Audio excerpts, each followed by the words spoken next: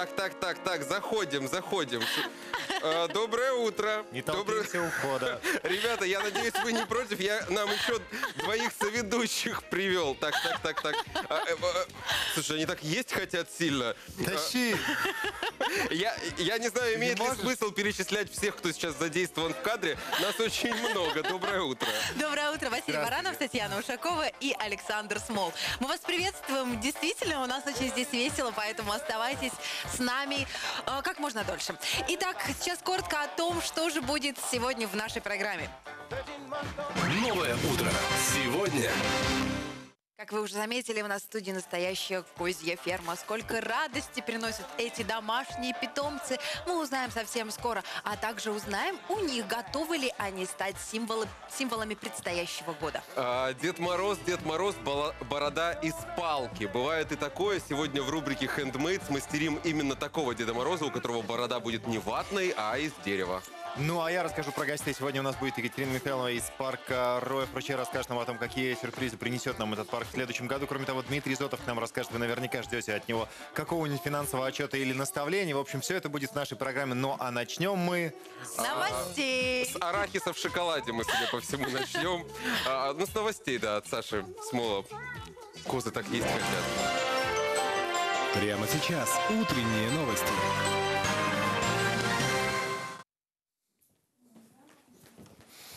Доброе утро, дорогие друзья. Э, Последние интересные новости. Вот председатель э, комитета ЗАГСа Пермской области, Пермского края Юлия Андрианова предложила ввести в регионе запрещенный список имен. Об этом она написала в своем блоге.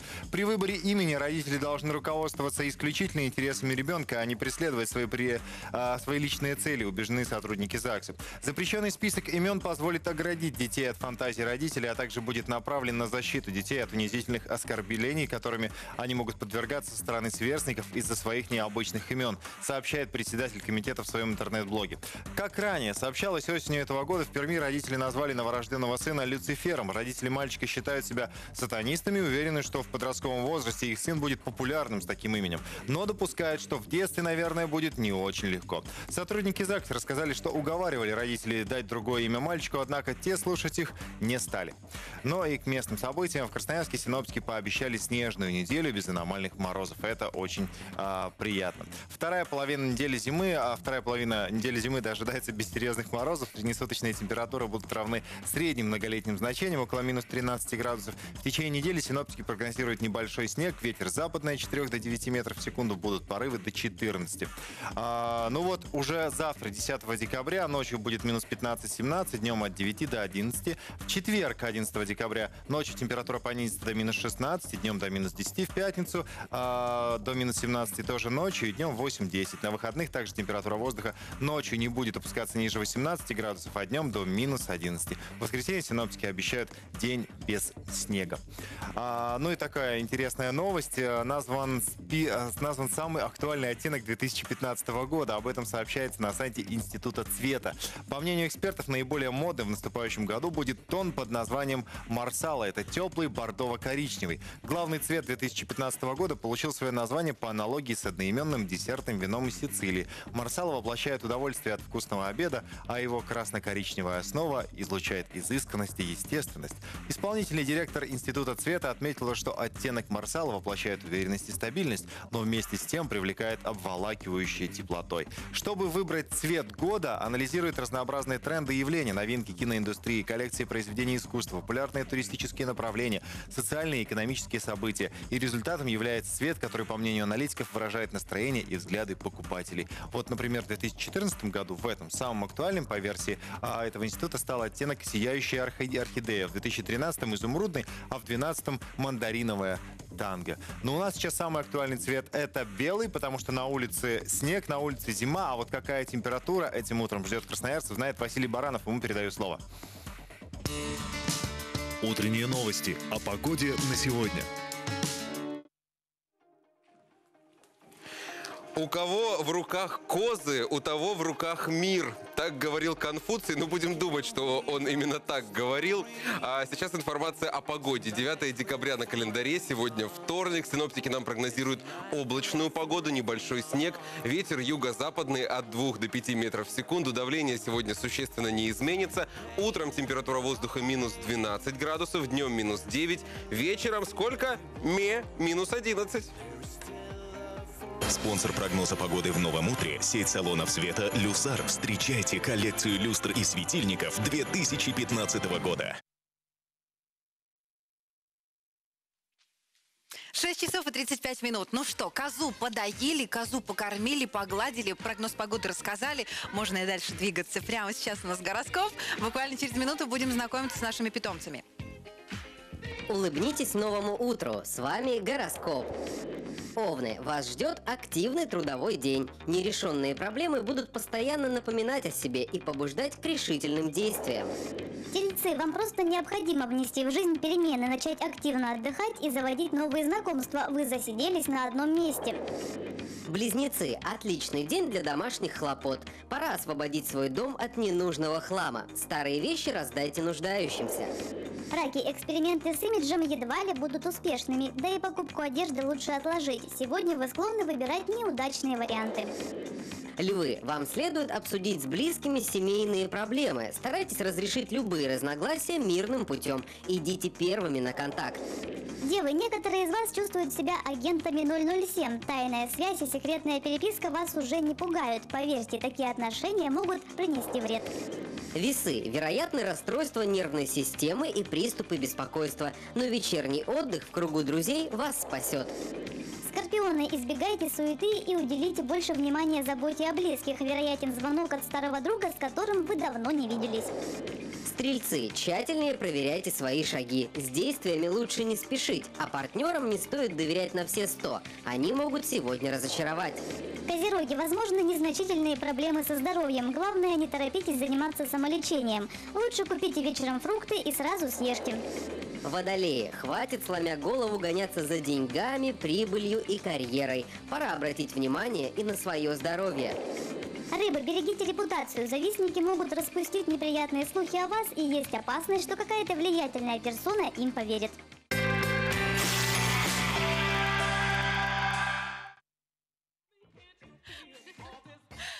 Всем еще раз хорошего Это утра. У нас- борьба. У нас, та- у нас такая вот, э, как, как это называется? Вот э, наверняка сейчас каждый зритель программы «Новое утро» по утрам вот так же сопротивляется своему пробуждению, как наши козочки, да? Потому что Да. вставать тяжело, но тем не менее приходится. И Василий Баранов как раз вытаскивает из этого сна их. Вытащил из постели двух козочек, э, ни свет ни заря. Козлят, я бы сказала даже. А, Сегодня в нашей студии Ирина Рогозина, хозяйка козьей фермы «Молочная река». Вот у Ирины-то мы и узнаем, каково жить вместе с козочками. Доброе утро. Здравствуйте. Вот, вот- вот этот миф о том, что козы вредные и противные, правда или нет? Они как барашки упираются или они покладистые и хорошие? Нет, они очень спокойные, очень э, доброжелательные Но- животные. Но тем не менее, они могут послушные, ведь. знают свои имена. Ну, конечно, когда они выходят на прогулку, им хочется попрыгать, поскакать, порезвиться, потому что... Как вот у собак у них, когда они молодые, они бегают и, и все, все, все грызут и везде копаются или нет? У Как козы- ведут себя козы молодые? У козочек травка всегда на чужом участке и за чужим забором всегда слаще, поэтому всегда нужно глаз да глаз. А, держать. Ну, судя по метке, которая есть э, на ухе, у вас действительно ферма прям серьезная, там у вас много коз. Сколько голов? Ну, на сегодняшний день у нас э, около 30 голов. Это есть и дойные козы, есть э, козлята, которые родились весной, есть э, козел-производитель, Один на всех? один на всех, он самый главный, мы его всегда э, породистого козла приобретаем, чтобы были У него породистые 30 козлы. жен? У него 12 сейчас У жен. него работа не початый край, да? 6 подрастает да, Ага. вот сейчас, на следующее лето. Но, пользуясь случаем, раз уж у нас э, в студии все-таки символ грядущего 2015 года, э, козы и козлята, давайте устроим гадание. А Давайте. давайте. Если мы снимем их с поводка, они убегут? Да нет, видите, Нет? они совершенно Саш, спокойны. держи, пока подержи на поводке. Я э, приготовлю реквизит. Давайте проверим, какую капусту э, предпочтут козы. Ну давайте. У нас есть капуста всем известная зеленая Так, капуста. Вот вы видите, да, ее? И есть капуста деревянная, которая нынче падает. Давайте проверим. В Давайте. 2015 году э, В какую валюту Да, лучше да, да, вкладываться? Давайте, давайте одну с этим я В попробую национальную или все-таки в доллары? Так прямо. Так, что выберет Добрынюшка. Добрынюшка, мне кажется, она меня укусит. Добрынюшка? Это мальчик, Добрыня. Иди Добрыня. Козлик. Ты что так боишься? Лучше Амура узнает. Мне кажется, что Она уже- коз, я видел, как они едят капусту, мне кажется, пальцы полетят точно так же, как капуста. Сейчас проверим. Пойдем, пойдем, пойдем, не Пойдем бойся. поучаствуем в конкурсе. Много камер впервые на телевидении.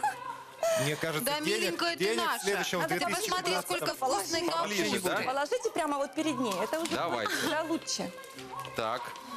Ну, Мурочка, скажи нам, пожалуйста, э, в какой валюте в 2015 году держать свои сбережения? В долларах или в рублях? Давай, иди.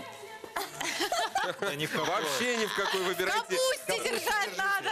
В золоте. В золоте, да. Не, не, не хотят выбирать они всё никак. Давай следующий вопрос. Вдруг ей просто не нравится вот Ну, эта давайте. денежная тема? Это все бумажки, да. Козы, Так. козы. Козы, козы, козы. Еще козы, козы. подходим максимально близко к козам. Вот что выберут, то выберут. 2015 год. Счастье и достаток.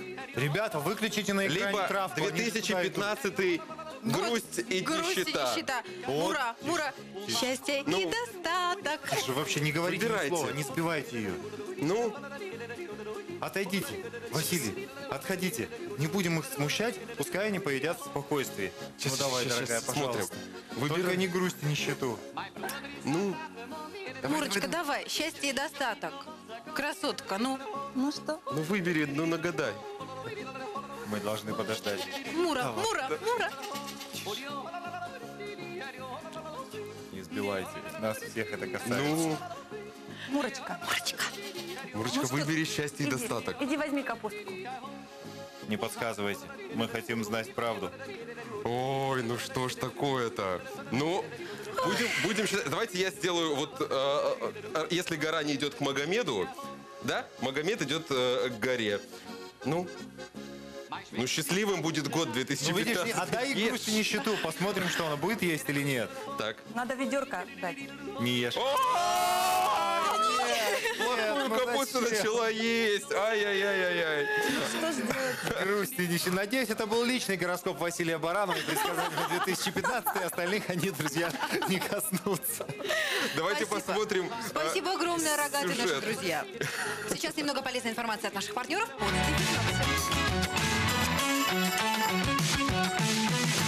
Нет такой шубы, которую вы бы у нас не нашли, утверждают продавцы этого центра. Так ли это на самом деле? Сейчас проверим.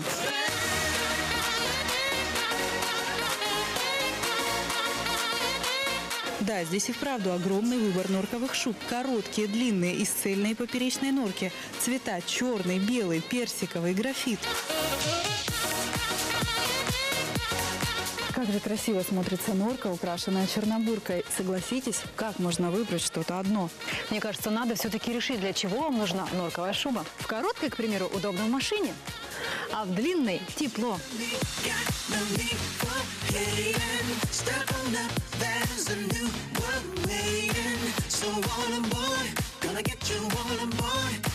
А кто-то выбирает по принципу «хочу самое дорогое, самое красивое и самое лучшее». Таким я посоветовала бы шубу из меха норки Black Lama. Это, пожалуй, эталон стиля в меховой моде.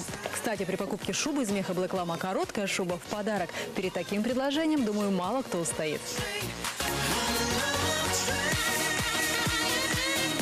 Мы вам показали лишь несколько норковых шуб, а здесь более тысячи моделей. И одна из этих шуб, представленных в шуба-центре, возможно, именно ваша. Находится шуба-центр в новом торговом комплексе «Крастец» на втором этаже.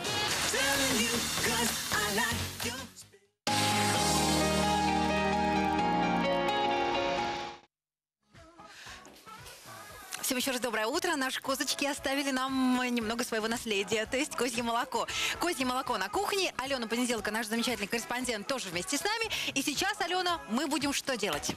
Варить козий сыр. Козий сыр из козьего молока. Да, вот именно от тех коз, которые к нам сегодня приходили, для этого нам понадобится всего лишь козье молоко Так. и козий творог.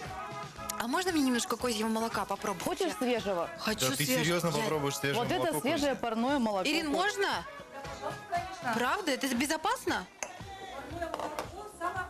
Оно полезное, но вроде говорят, что у некоторых взрослых оно плохо усваивается. Она нам Нет, нужна нет. до конца эфира.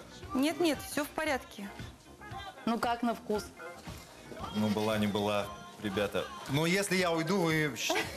Ребята, это очень вкусно. Оно отличается от коровья? Вот я тоже ни разу не пробовала козье молоко на самом Да деле. не особо, если честно. Я, конечно, не гурман и не ну, такое эстет. Т- Такое, на самом деле, сладенькое, приятное молоко, но от, Очень от- от- от вкусно. коровьего не отличается. Ну, я не Ну, эстет в молоке, вы простите.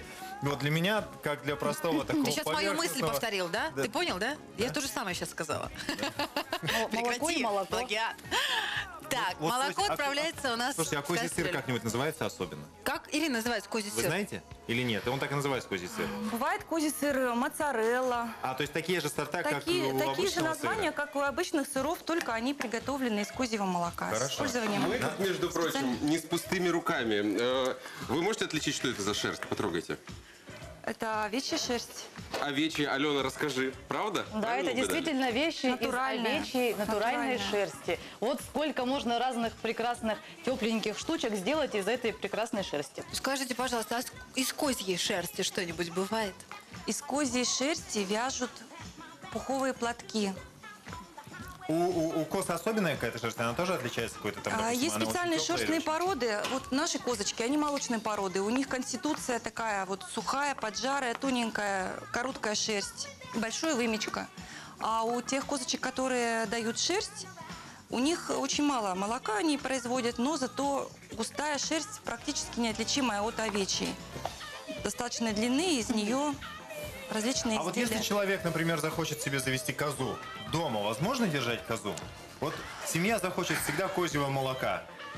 Мне кажется, это глупо. Если вы живете в Подожди. частном доме, то это Частном это, замечательно. конечно. А То это если, у вас, а если у вас нормальная четырехкомнатная квартира? Если нормальная четырехкомнатная квартира, то очень сложно будет Сложно, содержать да? козу, потому что она постоянно... У нее нет своего туалета, скажем так. То есть это в этом сложность. Ваша квартира это ее туалет. Они кричат, они могут э, бумагу, ткани какие-то постоянно жевать, потому что им это все требуется. Они вообще Ну могут вот всю смотрите, квартиру А вот как вы думаете, вот молодым семьям перед тем, как заводить детей, может быть взять козленка ненадолго, чтобы понять, как это вообще, когда, когда у тебя в квартире постоянно беспорядок и кто-то что-то съедает? Да, и когда потом козочку убирают, им становится так хорошо. Да, да, да. И они начинают чувствовать вообще радость жизни. Слушайте, я думаю, что вот в новом году точно будет успех, так как 2015 год год овцы или э, козы, да, э, вот в таком комплекте, да, тепленький А давайте жилет я попробую на себе шапка. это посмотреть. По мере Эмочка очень классная. как раз-таки вот может А вам подойти. Да. Мне кажется, эти вещи очень. как раз подойдут для сибирской зимы, потому что действительно они очень теплые. У меня у самой есть жилет из овечьей шерсти, я надеваю в самые холода его и не замерзаю. Ой, как хорошо. А вот еще для автомобилистов есть сиденье, то есть Да, можно в машине быть в тепле. В магазине есть сказали, что это самый ходовой товар, вот эти сиденья для Да? автомобиля, потому что сиденья с подогревом для мужчин не полезны. А Ой, из как хорошо, ребят. А можно мне до пуси? А размерчик какой? 39-40, не мой. А там еще есть пояс из овечьей шерсти, который тоже полезен для здоровья. Если у вас радикулит, он как раз для этого поможет. От этого. Вот он этот пояс. Все, до конца эфира я буду вот Под, так. под пиджак его, под пиджак, Василий, чтобы Под пиджак? было, конечно. Я думаю, что вообще идеальной будет картина. Как выглядит Казиман. Знаете, э, э, вот э, сидят там в Москве, да, Познер. Как он думает, как выглядят региональные ведущие? Вот примерно так Познер думает, выглядят ведущие в регионах. Ну что, он не ошибается. Фотоаппарат я хочу сфотографировать, Василий. тебе. Правда, я не могу ходить, они связаны. А, все, развязались, осторожно. И так, вот так начинается, начинается программа, и ведущий говорит, сегодня мы поговорим о самом-самом важном. Да. О козах. О сельском хозяйстве. Как вести себя с козой на вечеринке? Начинай, Василий. Э, Но для начала нужно проверить, доенная ли она. Сегодня наша козочка доенная. У вас там как с э, молоком? С сыром, который Сыром был. Получается что-то? Алена вы- э, положила в э, козье молоко. Холодное молоко я положила творог, поставила на огонь и теперь жду, пока оно закипит. В Холодное молоко мы положили творог и ждем, когда закипит. Да. Вот И в чем всё? наша разница. Рыжие И говорят... варим 5 минут. Смотрите, рыжие говорят творог, а брюнетки творог. Насколько я знаю, можно говорить и так, и так. Давайте рекламу посмотрим.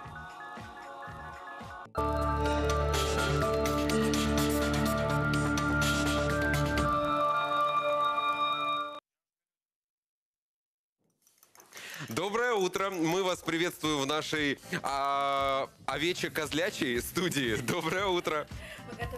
Новому году, а поскольку у нас коза, овца – это символы 15 года, значит, надо их начинать уже задабривать как следует.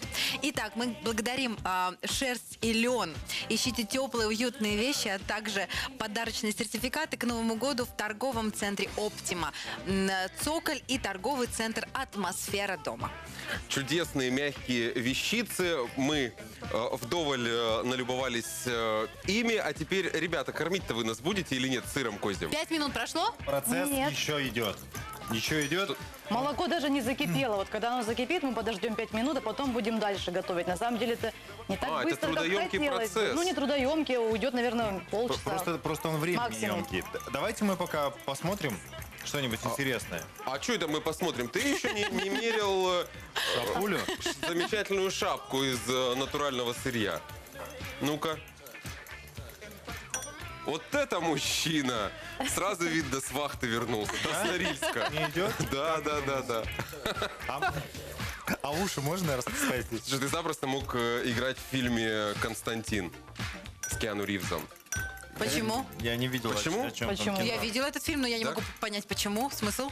А я специально так вот решил всех запутать. Давайте посмотрим рубрику «Киношка» про Константина. Сейчас ты узнаешь все подробности того, что он э, Он не такой симпатичный. В перерывах между съемками Киану Ривз тоже одевал вот эту... Это чаш? Из чего шапка? Шапка из натуральной шерсти. Из натуральной шерсти шапку одевал, чтобы... Ну, в общем, чтобы вселиться в образ. Давайте посмотрим. Отметивший в этом году 50-летний юбилей, актер Киану Ривз жалуется, что ему сейчас все реже предлагают роли. В одном из интервью он поделился, что мечтал сыграть Росомаху и Бэтмена, но по разным причинам не смог этого сделать и сейчас сильно жалеет. А ведь было время, когда актер был на расхват. Так на съемке ужасов «Константин» его пригласили на следующий же день после окончания съемок в «Матрице». Руководство издания комиксов о Константине было удивлено выбором киностудии. В комиксах герой блондин, а Киану Ривз не похож на европейца. Но упор сделали не на внешности, а на сути его отношения к миру. И не прогадали. Даже верные фанаты комиксов впоследствии приняли Киану Ривза на ура. Была идея осветлить волосы Киану, но мы ее отвергли. И поначалу плащ для героя должен был быть оливкового цвета, но актер в нем терялся. А вот черный плащ подошел ему гораздо больше. На нем и остановились. Одним из мучительных вопросов для создателей фильма стало, как представить образ сатаны. В разных фильмах он был уже и ребенком, и зверем, и женщиной. Режиссеру дьявол представлялся кем-то мерзким, противным и абсолютно равнодушным. Позвать на роль решили Питера Стормера. Я не хотел много грима или каких-то силиконовых накладок. Сказал, что лучше сыграю лицом. Пусть зритель включает воображение. К тому же, что больше всего и страшно, дьявол всегда разный. И трудно ухватить то, как он должен выглядеть и в какой форме существовать. Сцены, в которых показан ад, пришли в голову одному из аниматоров. В нашем адском ландшафте царит тот момент, когда тепловая волна от ядерного взрыва сметает все, пока ее не рассеивает ударная волна. Мы пересмотрели множество видео взрывов, чтобы ухватить нужный визуальный ряд. А еще в наши сцены мы добавили эффект марева, какой бывает от сильного жара, чтобы картинка как будто поплыла. Крылья ангелов не должны были выглядеть белыми и пушистыми. Задача была сделать их реальными, похожими на крылья птиц. По-настоящему создали только одни крылья, чтобы понимать, как в той или иной сцене они отражают свет. А все остальные были нарисованы. Фильму «Константин» в следующем году исполняется 10 лет. Но тема добра и зла вечна, поэтому у картины наверняка еще долгая жизнь. До встречи в следующий вторник.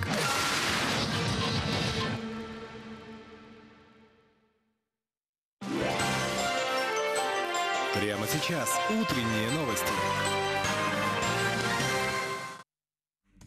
Доброе утро. Интересные события и новости. Замминистра иностранных дел России Сергей Рябков заявил, что американские санкции направлены на создание в России условий для смены власти. Как сообщает ТАСС, такое мнение он высказал в ходе слушаний в Госдуме по вопросу об отношениях России и США.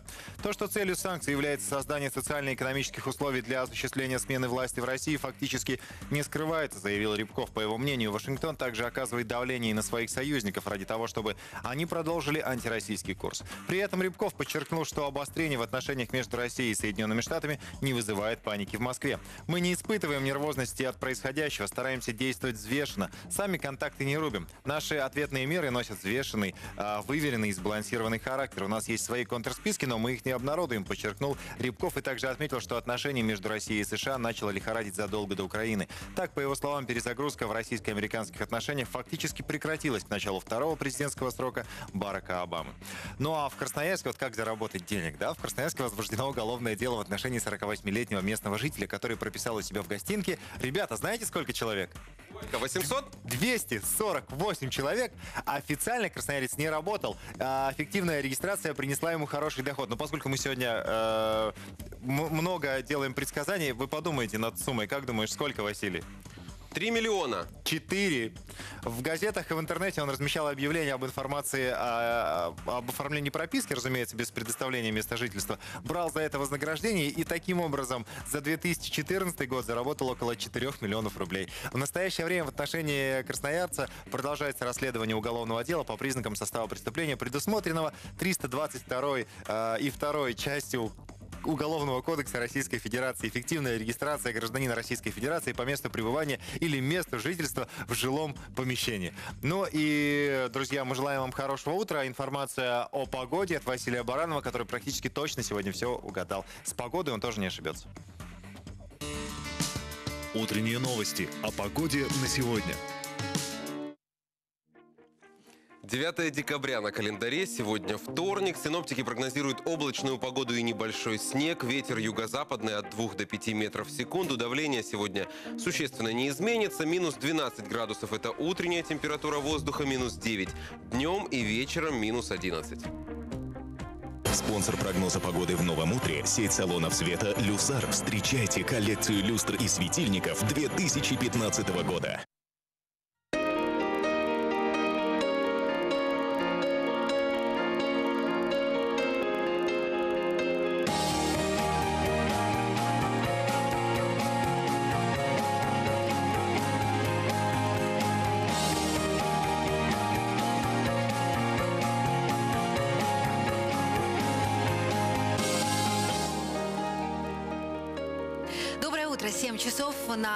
Студийных часах. Это значит, что мы начинаем детский конкурс. И я надеюсь, все наши маленькие зрители уже проснулись.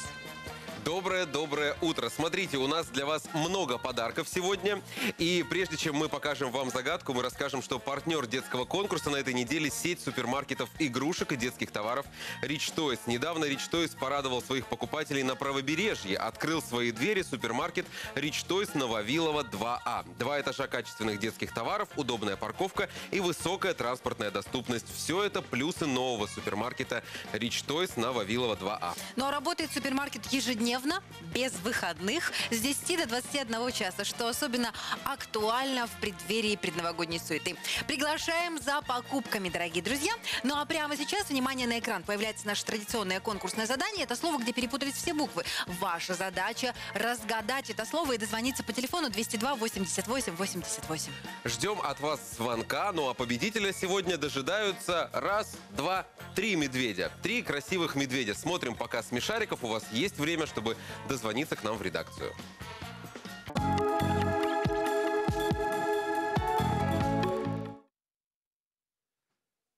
Доброе утро. Ну а для нас уже не тайна, что кто-то есть на телефонной линии. Доброе утро. Доброе утро. Доброе утро. Доброе утро. Как зовут? Полина. Полина, очень приятно. Меня зовут Вася, рядом со мной Таня. Скажи нам, какое слово мы сегодня загадали? Секрет. Секрет? Не скажешь? Да, это действительно секрет. Мы тебя поздравляем, Полина, от души. И, э, ко всему прочему, мы дарим тебе э, вот этих замечательных медведей. Целое семейство медвежат. Они отправляются в коробочку, а эта коробочка будет дожидаться тебя на Копылова 50. Заезжай и забирай. Первый еще, да, и еще очень важно, Полиночка, на этой неделе не проспи, пожалуйста, в пятницу, потому что ты уже являешься финалисткой детского конкурса, и в пятницу мы будем разыгрывать еще один подарок. Да, Сертификат на 1000 рублей будет разыгран в пятницу. Ну а все остальные малыши не отчаивайтесь. У нас впереди еще среда, четверг, пятница. У вас будет возможность тоже выиграть комплект призов от э, Rich Toys. э, Три медвежонка. Да, дело в том, что партнер нашего детского конкурса на этой неделе а, м, сеть супермаркетов игрушек и детских товаров Rich Toys.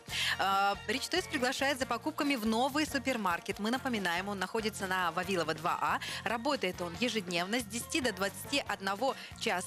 А, В этом супермаркете целых два этажа. Можно э, выбрать разнообразие детских товаров. а, И я думаю, что ваша новогодняя сказка обязательно сбудется, если вы туда приедете и что-нибудь классное себе выберете. Да, у новогодней сказки Rich Toys даже есть телефон. Запишите телефон э, супермаркета 205-0301. Вавилова 2А вас ждет за новогодними подарками. Ну а далее программу «Новое утро» продолжит рубрика «Handmade». И тут уже подарок не покупной будет, а подарок, сделанный своими руками. Оказывается, Дед Мороз — это не только ватная борода, у него еще борода бывает деревянной. Как такое возможно, сейчас увидим.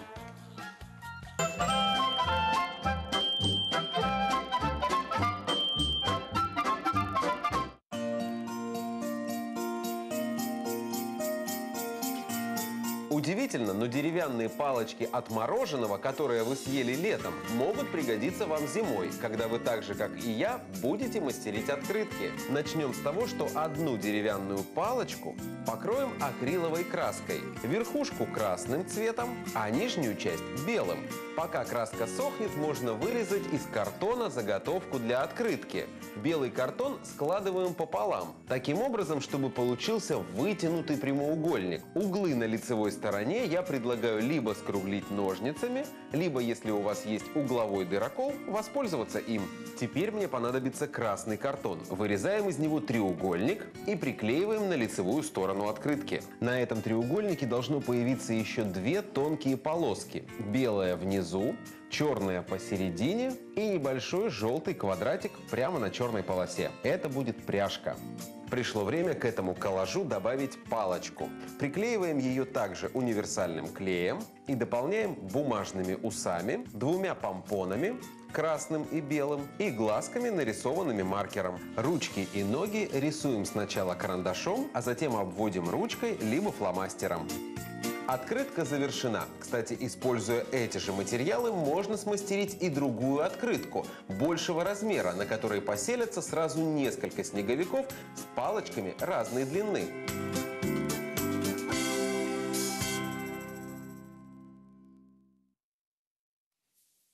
Продолжим новогоднюю тему. Семейный центр «Умка» рад предложить уникальный новогодний проект «Загородная резиденция Деда Мороза». Малышей ждут удивительные приключения в сказочном новогоднем лесу, знакомство с друзьями Дедушки Мороза, лесными зверями, катание на пони, а на горках, на лыжах, игры и конкурсы. Но самое главное, ребята смогут побывать в доме, где живет сам дедушка. Ребята, если вы хотите попробовать настоящие новогодние пряники и горячий шоколад, то а, тогда скорее к нам в резиденцию. Помощники дедушка, э, Дедушки Мороза научат э, взбивать снежные перины, мастерить снежинки, готовить угощения, украшать подарки и многое друг- другое. Профессиональный хореограф поможет запомнить эту сказку. Ну и, конечно же, а, хоровод вокруг красавицы елочки, песни и стихи тоже будут. А, И фотограф, да, все это действительно запечатлеет, чтобы потом в семейный архив фотокарточки занести. Подарите вашему ребенку новогоднюю сказку об этом приключении. Вы будете вспоминать всю свою счастливую жизнь. Ждем, кстати, в резиденции Деда Мороза ребятишек от 2 до 7 лет.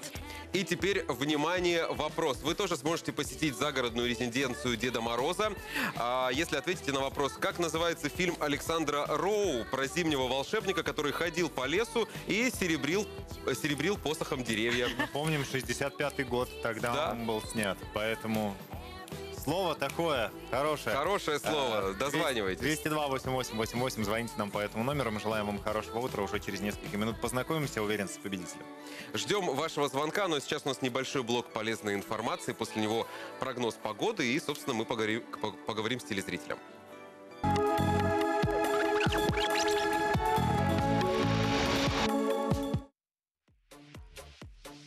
Спасибо, что начинаете свое утро именно с телеканалом ТВК. Сейчас информация о погоде. Вторник на календаре, 9 декабря. Синоптики прогнозируют облачную погоду, небольшой снег. Давление сегодня существенно не изменится. Ветер от 2 до 5 метров в секунду, юго-западный. Сегодня температура воздуха утром минус 12 градусов, минус 9 днем и минус 11 вечером.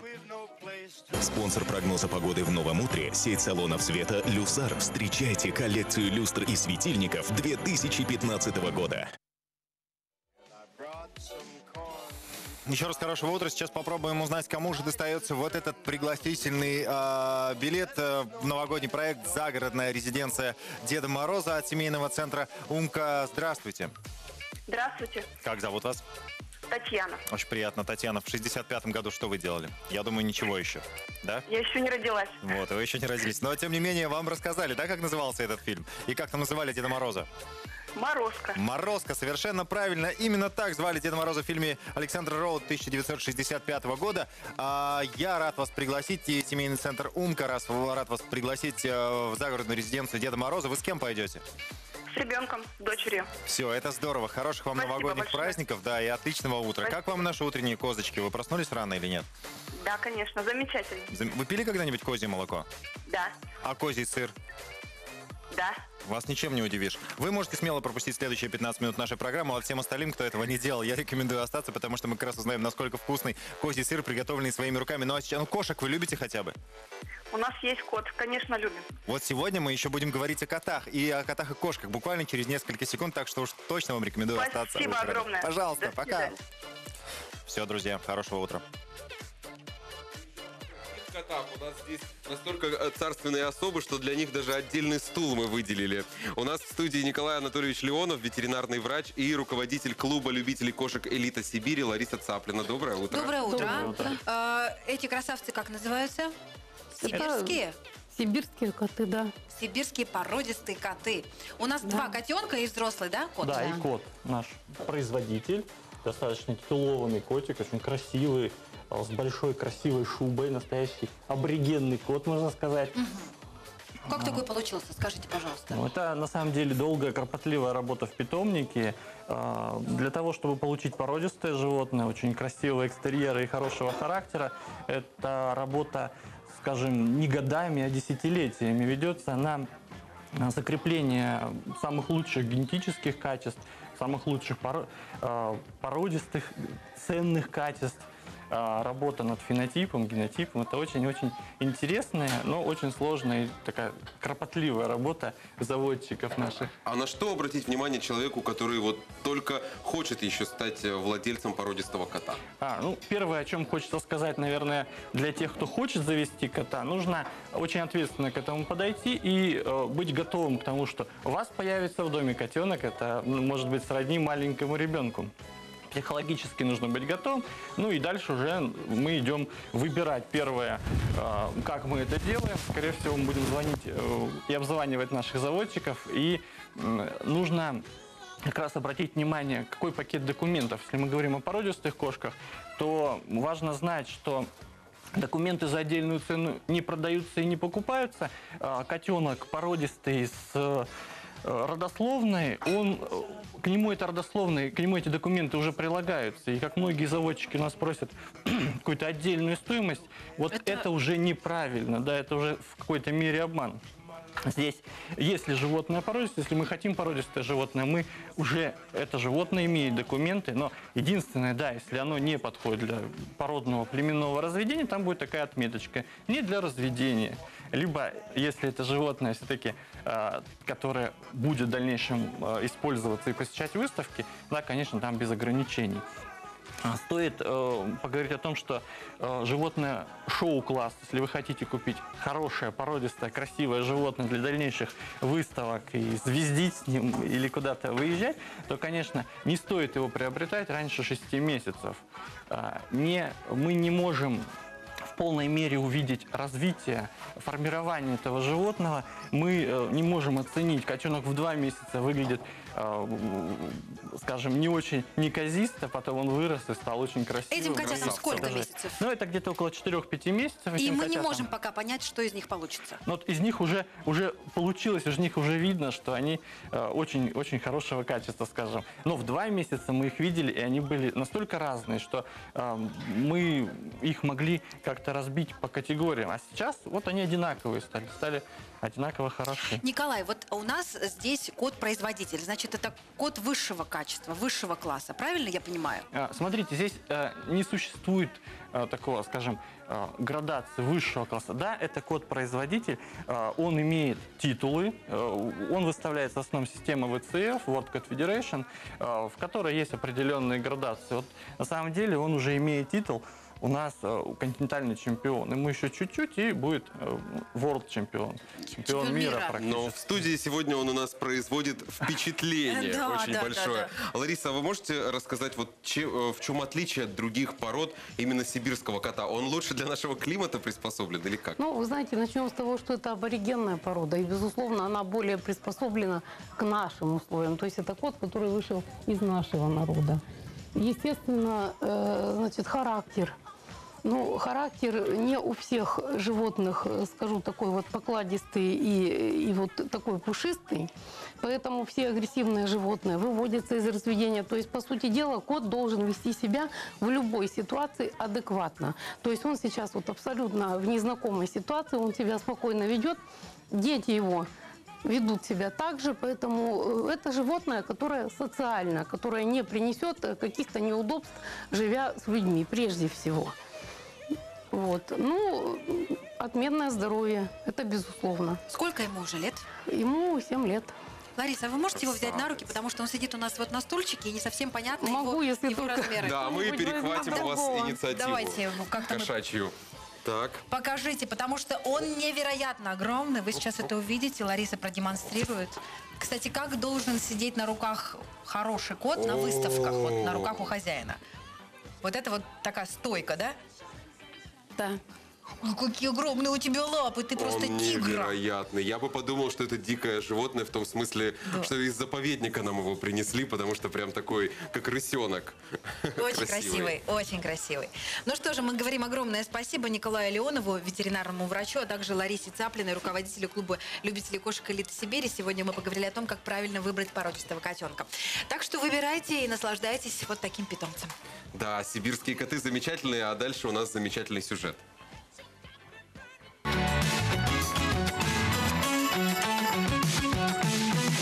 Что скажешь насчет свадьбы осенью? Замечательная пора. Несколько моих подруг выходили замуж именно в это время года. И если вы планируете торжество на осень, наш мастер-класс для вас. Кружево, кружево и еще раз кружево. Девиз нового сезона испанских модельеров.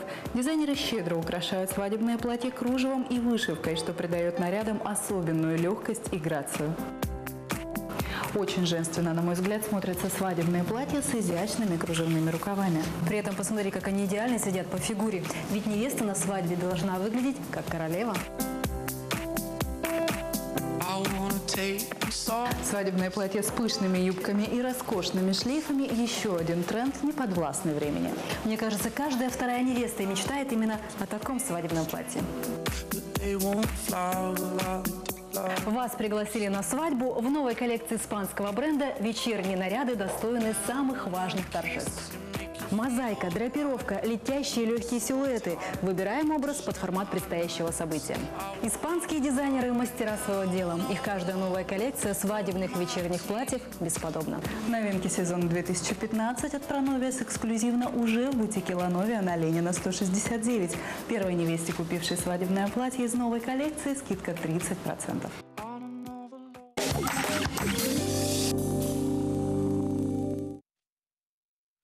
Зоо утро продолжается. Козы были, козлята были, коты сибирские были. Друзья, скоро олени будут. Да. Это мы не не шутка. шутим. Да, это правда. Скоро будут олени. Ну а сейчас переходим к советам от нашей драгоценной тети Тани. И вновь поговорим о томатах. На этот раз выбираем красивые томаты для засолки.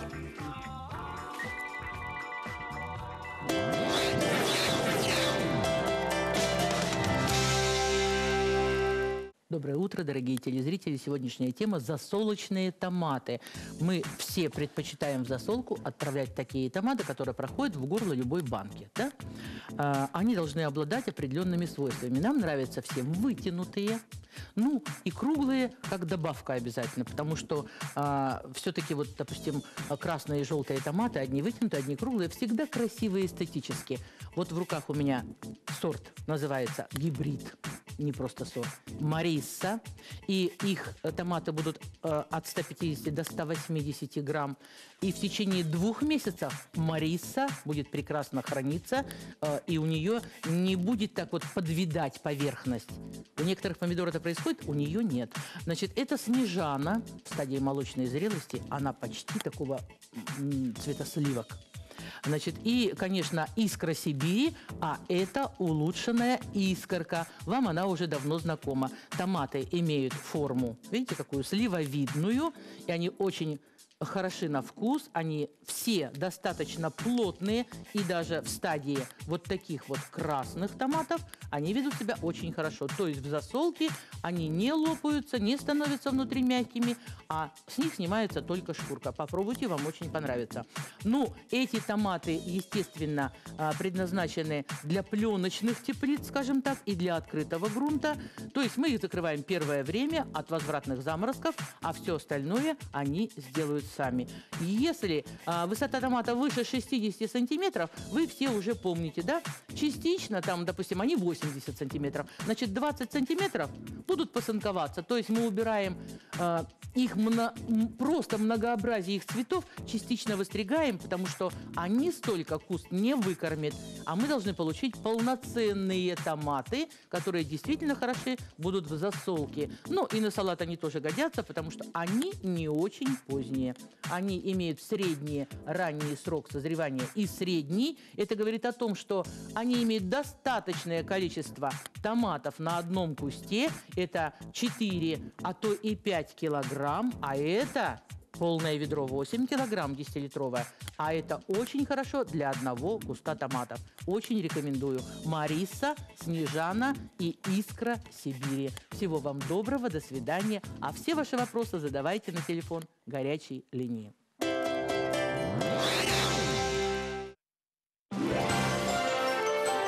Прямо сейчас утренние новости. Доброе утро. Новости. Председатель комитета ЗАГСа Пермской, э, Пермского края Юлия Андрианова предложила ввести в регионе запрещающий список имен. Об этом она написала в своем блоге. При выборе имен родители должны руководствоваться исключительно интересами ребенка, а не преследовать свои личные цели, убеждена сотрудница ЗАГСа. Запрещенный список имен позволит оградить детей от фантазии родителей, а также будет направлен на защиту детей от унизительных оскорблений, которым они могут подвергаться со стороны сверстников из-за своих необычных имен, а, сообщается в ее интернет-блоге. И давайте сразу ко второй новости перейдем. Это уже местная новость, и она ну, такая довольно приятная. Это погода на всю предстоящую неделю. Итак, в Красноярске на следующей неделе синоптики пообещали а, ее снежную, без аномальных морозов. Как сообщил ведущий синоптик Среднесибирского а, отделения Сергей Кабайкин, вторая неделя зимы ожидается без серьезных морозов. Среднесуточные температуры будут равны средним многолетним значениям, около минус 13 градусов. В течение недели синоптики прогнозируют небольшой снег, ветер западный от 4 до 9 метров в секунду с возможными порывами до 14 метров. А вот уже завтра, 10 декабря, ночью будет минус 15-17 градусов, днем минус 9 11. В четверг, 11 декабря, ночью температура понизится до минус 16, днем до минус 10. В пятницу, 12 а, тоже минус 17 ночью, а днем 8-10 ниже 0. На выходных температура воздуха ночью не будет опускаться ниже минус 18, днем до минус 11. А в воскресенье синоптики обещают день без снега. Ну и назван самый актуальный оттенок 2015 года. Об этом сообщается на сайте Института цвета. По мнению экспертов, наиболее модным в наступающем году будет тон под названием «Марсала». Это тепло-бордовый бордово-коричневый цвет. Главный цвет 2015 года получил свое название по аналогии с одноименным десертным вином из Сицилии. Марсал воплощает удовольствие от вкусного обеда, а его красно-коричневая основа излучает изысканность и естественность. Исполнительный директор Института цвета отметила, что оттенок Марсала воплощает уверенность и стабильность, но вместе с тем привлекает обволакивающей теплотой. Чтобы выбрать цвет э, года, анализируют разнообразные тренды и явления, новинки киноиндустрии, коллекции произведений искусства, популярные туристические направления, а социальные и экономические события. А результатом является цвет, который, по мнению аналитиков, выражает настроение и взгляды покупателей. А, давайте поговорим о том, что выражает наше настроение, но во всяком случае очень точно сказывается на нем. Это курс валют на сегодняшний день. Итак, цена американской валюты сегодня 53 рубля и 30 копеек, а единой европейской валюты 65 рублей и 42 копейки. Вот такие новости. Хорошего вам утра. Оставайтесь на телеканале ТВК. Утренние новости. Доброе утро! На новогоднем столе особое место занимают сладости, потому что после горячих, сытных блюд, к чему мы переходим? Мы переходим к вкусным десертам. Да, это точно. Поэтому, дорогие друзья, внимательно послушайте то, что мы вам сейчас расскажем. Джем Махеев клубничный приготовлен из самых свежих и спелых ягод клубники. Он замечательно подходит для тостов, для бутербродов и для выпечки. А еще здесь есть прекрасный черничный джем. Отличается нежным, в меру сладким ягодным вкусом и ароматом. Ароматом известен своими полезными свойствами для здоровья глаз. Ну, раз уж мы э, сказали о джеме клубничном Да. и черничном, то именно их э, я сегодня и предпочту. Махеев, качество на совесть, вкус на зависть. Спрашивайте в магазинах нашего города, в торговых точках, а цены вас, поверьте, приятно удивят. Вкусного вам утра и отличного новогоднего стола вместе с Махеевым. Да, приятного аппетита. Ну что ж, дорогие друзья, а, рассказали мы вам о самом вкусном и самом полезном завтраке, но сейчас переходим к следующему пункту нашей программы. И прямо сейчас переходим а, к рубрике «Красота». Алена Понеделка сегодня вновь с Викторией Нагибиной расскажет о том, как выглядит сногсшибательно.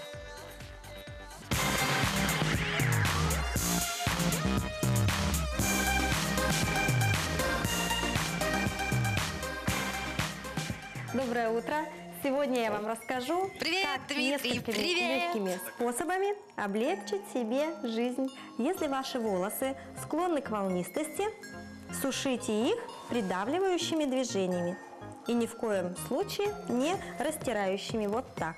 Зубная щетка сделает ваш зачес более ровным. Распределите на зубную щетку фиксатор, зачесываем волосы. Когда делаете легкую укладку, лучше ее делать с середины локона, а не с конца. Так укладка продержится дольше. Гениальная идея – сделать ободок из собственных волос. Для этого отделяем верхнюю часть волос и зачесываем ее наверх. Начинаю из этой пряди плести косу.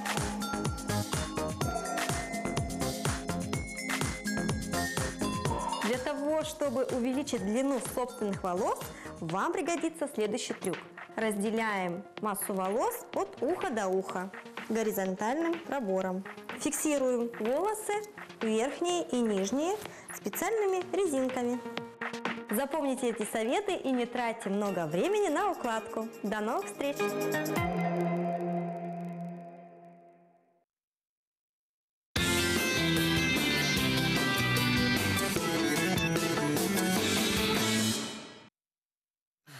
Да, в нашей студии Дмитрий Зотов. Это коммерческий директор представительства ЗАО «Финам» в Красноярске и наш финансовый эксперт. Доброе утро, Дима. Человек, с которым не только связаны сейчас какие-то прогнозы, но и надежды, да? Да, Вот все да. смотрят и ждут, ну, ну что же будет? О чем Дмитрий, сегодня, оправдайте. Дмитрий? Оправдайте наши надежды. Сложно оправдать, я объясню почему. Потому что есть э, возможности для зарабатывания, а есть э, реальная экономика.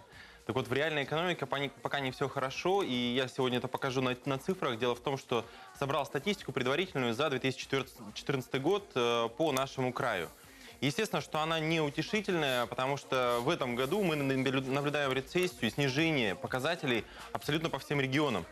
По России в целом. Россия уже вступила в фазу, когда у нее темпы прироста валового внутреннего продукта, то есть то, что мы производим ежегодно, они уходят в отрицательную зону. А это плохо. То есть мы не Да, производим Вчера у нас достаточно. были представители Кросстата, говорили, зарплата средняя выросла за год. стало больше. Номинальная. Вот я сейчас покажу на цифрах, э, насколько это все правильно. А, Валовый региональный продукт – это то, что производится именно в крае. В прошлом году он составил примерно 6, почти 6%. Это хороший прирост, если учитывать, что в целом по России этот э, показатель составил примерно 2%. 2% в среднем, а в Красноярском Да, а в крае Красноярске 6%. За Мы счет молодцы. нефтянки, за счет металлургии, за счет того, что у нас очень много производств. Более того, у них дешевая себестоимость производства. У той же самой металлургии э, при нашей электроэнергии э, достаточно низкая э, себестоимость производства. Но при этом в этом году мы ожидаем снижения, и уже текущие показатели они находятся на уровне 2,8%. То есть практически почти. в два раза. А по Тем России не в менее, целом теперь По какая? России в целом мы в минусе. Можем- Мы ушли в минус, там нуле, сколько-то? Да, да, либо там может быть полпроцента в плюсе, либо вообще полпроцента в минусе. То есть на сегодняшний день показатели могут быть такие. Промышленное производство, то есть то, что влияет как раз-таки на первый показатель, в прошлом году было 5,5%, в этом году 2,2%, то есть то же самое падение в два раза. А инфляция при этом, естественно, ускорилась. А, надо отметить, что здесь странная ситуация с Красноярским краем. У нас э, инфляция ниже, чем по России в среднем. То есть в среднем по России сейчас на уровне 9%, у нас она составляет 6,7%. Я, честно говоря, не знаю, каким образом подсчитывалась именно эта составляющая в нашем Красстате, но тем не менее, а вот по моим личным ощущениям, инфляция не ниже э, 10% официальная будет по итогу года, а если говорить о реальной, то это процентов 20. Вот. Причем, естественно, рассматривая разные товарные группы, например, если просто рассматривать продукты питания, то там все 30 и могут, там, даже 50. Вот, поэтому здесь э, э, этот показатель, я считаю, ну, достаточно сильно занизи- занижен. Отсюда вытекает реальный доход населения. То есть э, то, что говорили представители Кростата, да, у нас номинальная, инф- э, номинальная зарплата, она растет из месяца в месяц. Но если мы ее скорректируем на инфляцию, то мы получим минус 4% вот на сегодняшний день, это по итогу ноября. То, что мы уже увидели снижение реальных зарплат, там, скорректировав ее на инфляцию. Вот. Более того, в следующем году по некоторым муниципальным госслужащим а, государство не планирует проводить индексацию. То есть это не коснется пенсии, естественно, индексация будет все равно на уровне инфляции, но а, по некоторым группам госслужащих муниципальных это могут быть э, заморозка зарплат. А, Ну и безработица. Безработица, конечно, радует. а, том плане, что она в прошлом году была выше, чем в этом. То есть в прошлом году она составляла 5,7%, в этом году она снизилась, вот на текущий момент составляет 5,3%. Но, а, опять же, скажу, что это только официальные цифры, потому что многие даже не встают на учет в службе за- занятости населения. Это только те цифры, которые в службе занятости находятся. А, И поэтому сложно оценить реальный ее объем. Но тем не менее, э, как говорится, средняя по больнице она такая, это можно говорить о том, что и в нелегальном нашем секторе безработица тоже ниже, чем в прошлом году. А По следующим- Да. Я просто вот, э, наверное, у всех зрителей этот вопрос. Есть у нас какие-то планы на то, когда, в принципе, все начнет выравниваться? Здесь несколько факторов, я еще о них буду говорить в следующих наших передачах. Но самые э, там, два основных фактора это в первую очередь цены на энергоносители наши, которые сейчас э, просто камнем несутся вниз. А, цены на нефть уже подешевели больше, чем на 45%, а доллар тем временем подорожал, скомпенсировав вот это вот падение по нефти. Но тем не менее ничего хорошего этой экономике все равно не дает. А, Центральный банк говорит о том, что будет сдерживать валюту, а при этом нефть там, продолжает падать, он ее не сможет сдержать.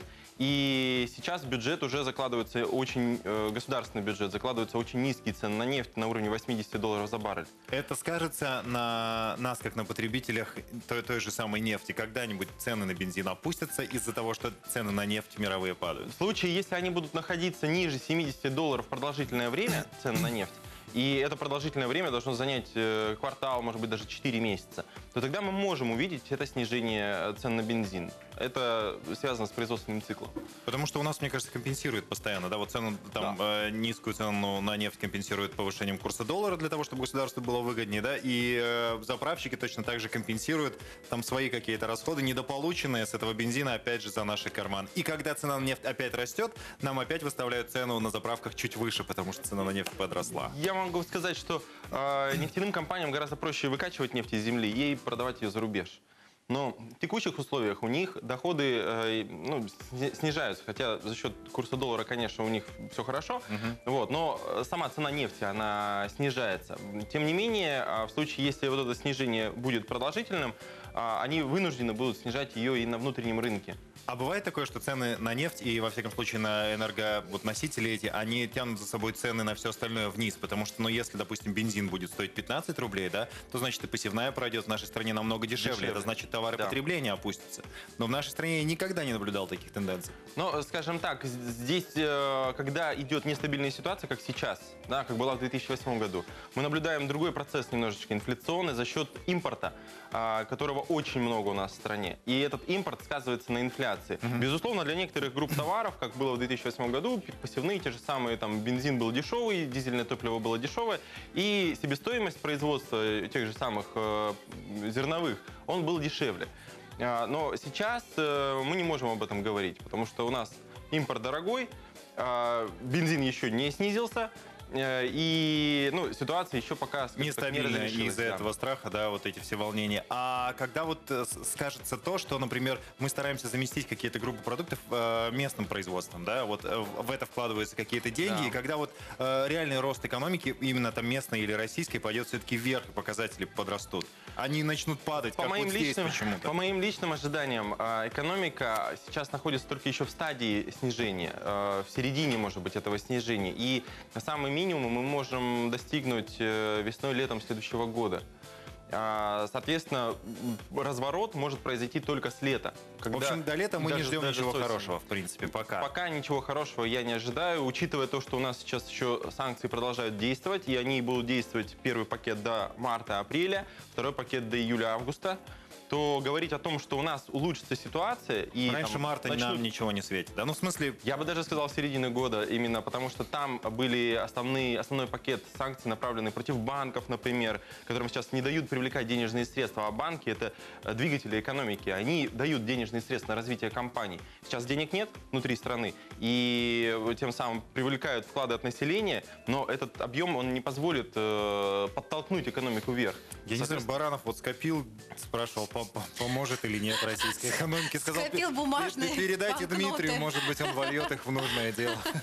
Ну, есть и позитивный момент. У меня сегодня у супруги день рождения. Я бы хотел ее поздравить с этим. Э, Не забывайте жить и в том числе такими радостями. Я ее очень сильно люблю и обожаю А как зовут супругу? Анну. Анну. Анна. Поздравляю Анну. да, А мы Мы присоединяемся. присоединяемся, да. Да, с днем рождения вас. Мне кажется, вот э, если уж когда-то и было время для того, чтобы делать упор на чувства в нашей жизни, да, то это как раз во времена кризисов. Вот давайте оставим все вот эти распри и денежные штуки где-то позади и будем просто наслаждаться ну, тем, что у нас классная зима, тем, что у нас там здоровые близкие, тем, что совсем скоро Новый год. А все остальное, оно все равно от нас не зависит. Какой толк от него переживать? Но Дмитрий Зотов всегда поможет вам э, на этом как-нибудь дозаработать. Да, Правильно? любите друг друга. Мы продолжаем нашу программу. Немного полезной информации от наших партнеров. После вернемся в студию.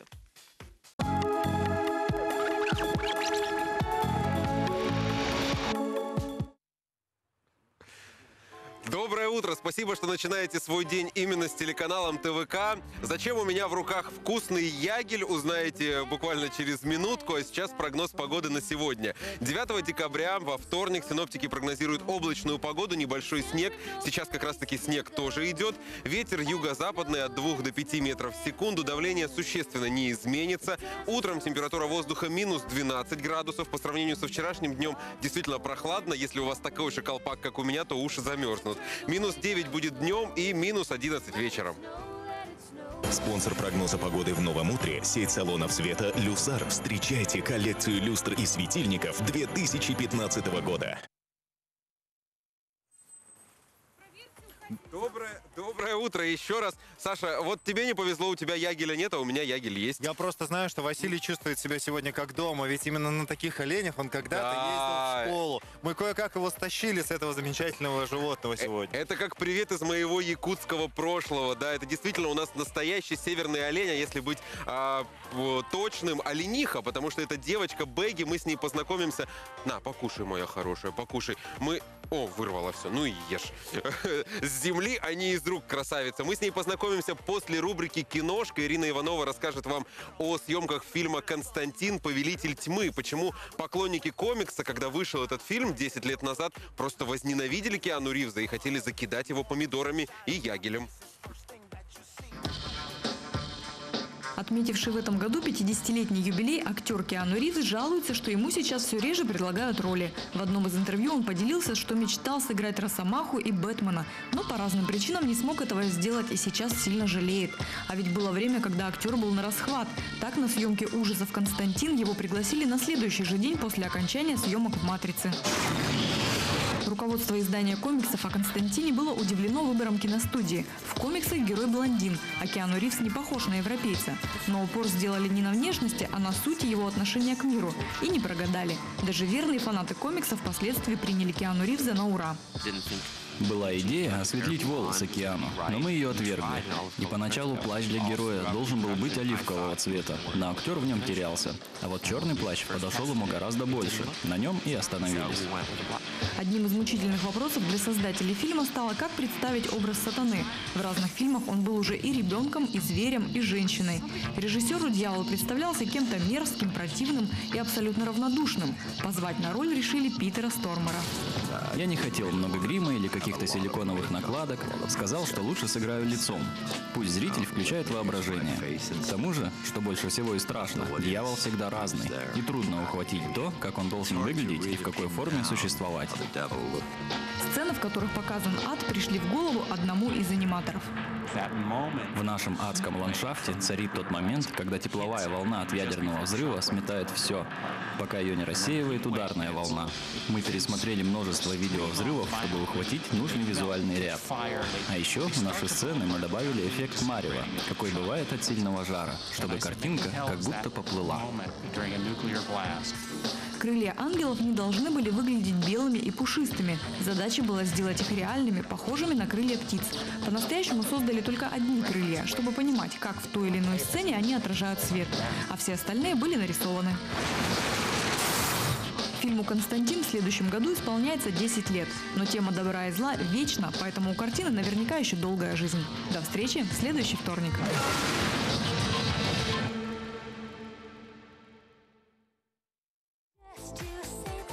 Доброе утро. Мы прямо застали, засмотрелись на сегодняшнего нашего друга. Как зовут? Это Бэгги. Бэгги. Бэгги. А вот я, знаешь, хотел спросить, когда трогал оленя, боятся олени щекотки?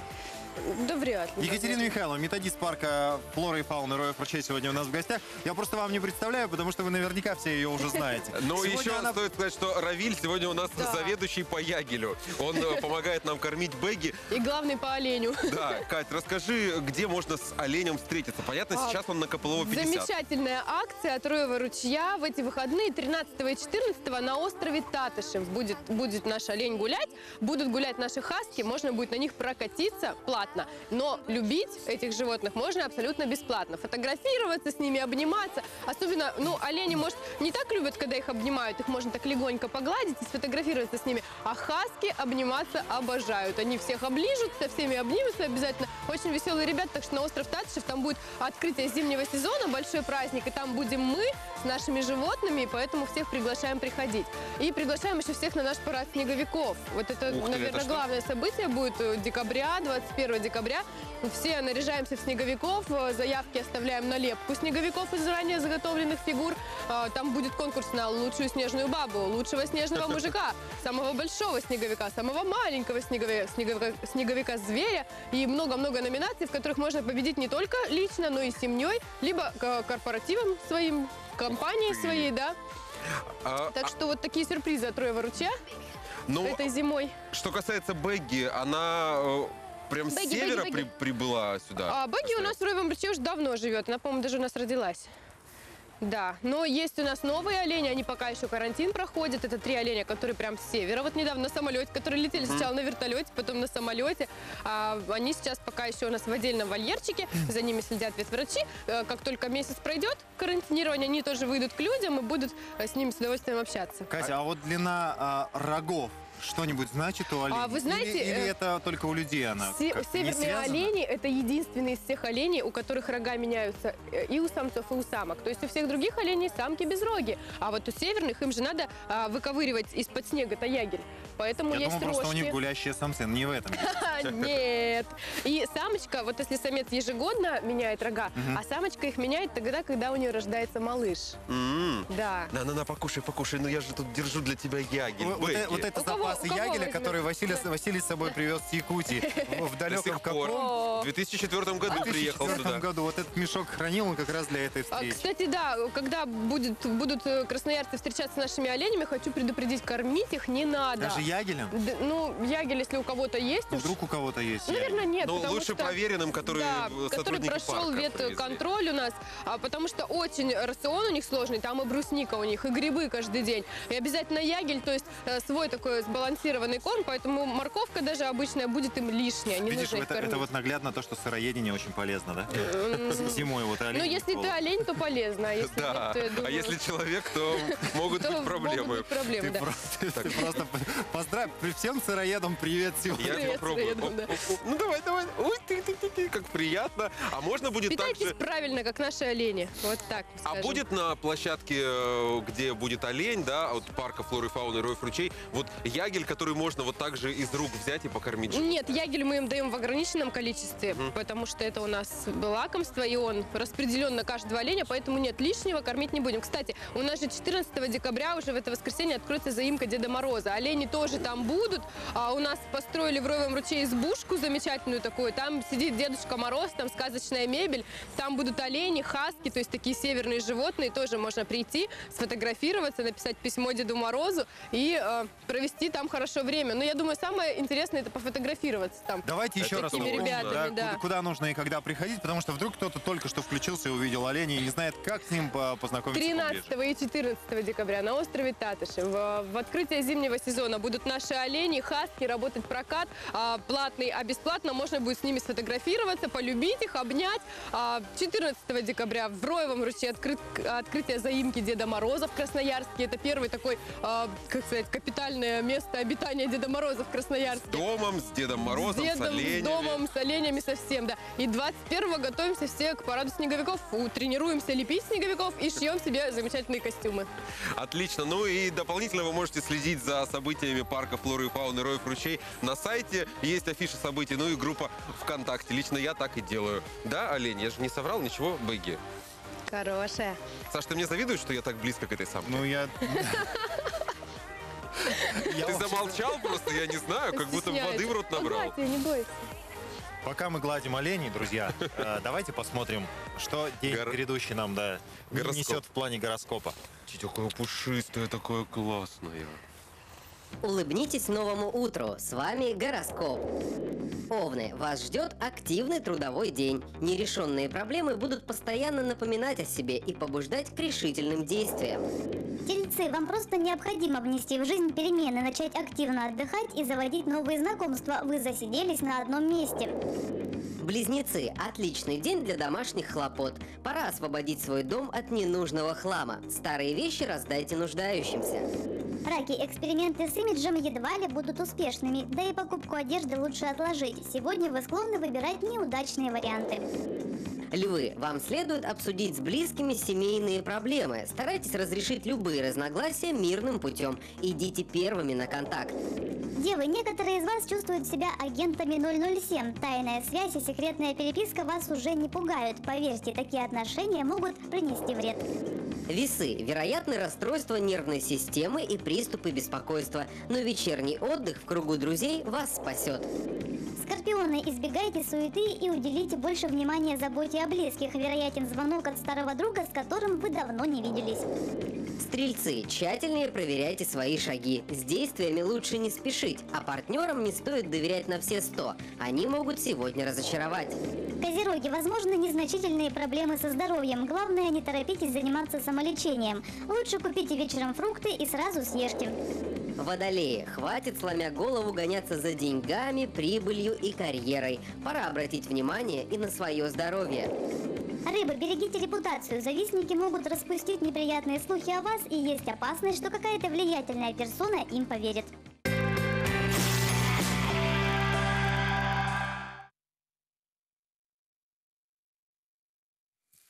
7 часов и Здравствуйте. 58 минут. Всем Ну, еще я раз доброе просто утро. хотел сказать, что у нас сегодня Замерзли? все действительно в прямом эфире, потому что... У тебя мы только- красный нос. Да там вообще мне показалось очень холодно. А- От, от оленей мы деле 10 опять возвращаемся к козам, точнее к продуктам козьей жизнедеятельности. Да, наш корреспондент Алена Понеделка сегодня с утра пораньше появилась э, вместе с козьим молоком, с э, творог ты еще с собой взяла, масло сливочное было у тебя. Что Да, еще? одно яйцо. Одно яйцо, сода. Масло сливочное ты сказала, Да. да? Сода и соль. Сода и соль. И в итоге у нас получился козий сыр. Посмотрите, как это было. Расскажи, Да, пожалуйста, мы все добавили, стадии. с самого начала начнем вкратце. Холодное молоко мы добавили... Козье. В холодное козье молоко мы добавили, добавили козий творог. Довели до кипения, покипятили 5 минут. Потом слили. Получилась такая масса, Масса. творожная, так сказать. Потом мы эту творожную массу мы поставили также на огонь в кастрюльке, добавили туда масло сливочное, соду, соль, взбитое яйцо и еще раз поплавили 5 минут. Вместе с желтком взбитое яйцо, Да, да? да, вместе с желтком взбитое яйцо. Потом. Потом Через э, марочку уложи, о, да, нет, это мы уже прошли сделали, эту это стадию, Саша, да. Потом мы выложили эту массу, вот она такого была, такой консистенции была. Мы ее положили на пленку пищевую и придали форму колбаски. Вот в итоге что у нас получилось. Полежала она у нас совсем немного, ну полчасика, может быть, минут 40. На самом деле сыр должен настояться хотя бы сутки. Сутки? В идеале. В идеале, да. Мне кажется, это было бы классно, как в сериале. Мы бы сделали долгоиграющую штуку. Если бы ты сейчас его не стала резать, мы бы его завтра с- отрезали. Ну давайте хотя бы пару кусочков отрежем и посмотрим, как он Я там знаю человека, выглядит. который как в утиных, а, как в Чипа и Дейли, помните, был такой Рокфор? Рокфор. Вот это Василий Баранов. Нам нужна вилка. ждать э, до завтра или до послезавтра, пока этот сыр будет у нас охлаждаться? Хочется сейчас? Он Ну, сейчас слишком мягкий, поэтому он такой вот Он такой творожный сыр пока, но если он настоится хотя бы Моцарелла. сот- э, э, сутки в холодильнике, то уже будет реально настоящий сыр. Прямо нам такими щедрыми Прямо кусками, да? много. Давай чуть-чуть попробуем. Я думаю, его невозможно разрезать пока что по-другому. Поэтому вот такие кусочки. Вы можете их делить. Таня, отрывай от моего куска. Операция. Держи. Оп. Ну, Ну, пахнет сыром. мгм. Он теплый. Чем-то на брынзу похоже. Козья Очень брынза. похож на брынзу, но он еще очень теплый. Его надо, мне кажется, постудить, чтобы понять, насколько он вкусный. Давайте Скажите, подождем. что он вкусный. Скажите честно. Но он- это сыр. Я честно говорю, получилось? он очень Да. вкусный. Я не знаю, он нормальный. Я Я никак... пока я не могу оценить вкус сыра, когда он теплый. Я никогда в жизни не ел теплого сыра. До сегодняшнего Попробуй. дня... А мне понравилось. Мне тоже А мне понравилось. кажется, это очень вкусно. Честно-причестно, очень вкусно. Да, до сегодняшнего дня я ни разу еще не ел сыр, который был приготовлен из молока утренней дойки. Мы сегодня в 6.30 э, козочку подоили, и из этого молока Алена сделала сыр. М. Алена, ты хозяюшка. Ой, я молодец. Молодец. Кормилица А наша. я пошел. Кормилица. Да, кстати, э, мы забыли у Ирины, нашей гости, которая сегодня к нам в студию привезла вот этих козочек, э, спросить, а каким образом красноярцы могут попробовать козье молоко? У Ирины, так ее зовут, правильно, да? У нее есть группа ВКонтакте, так называется, «Мор- «Молочная река». Если красноярцы туда зайдут, там вся информация есть. Или иначе там в поисковике можете там вводить там козье молоко в Красноярске. Тоже попадете на эту группу как раз-таки. Э, находится эта козья ферма в Минино, но Ирина приезжает в Красноярск с этой продукцией. Вот, можно все это разузнать в, в группе ВКонтакте. Очень вкусненько. Пока мы э, тут э, дегустируем э, сыр, продолжаем его есть, я думаю, что не дождется он заморо- заморозки, этот сыр. Саша вам расскажет новости. Прямо сейчас утренние новости.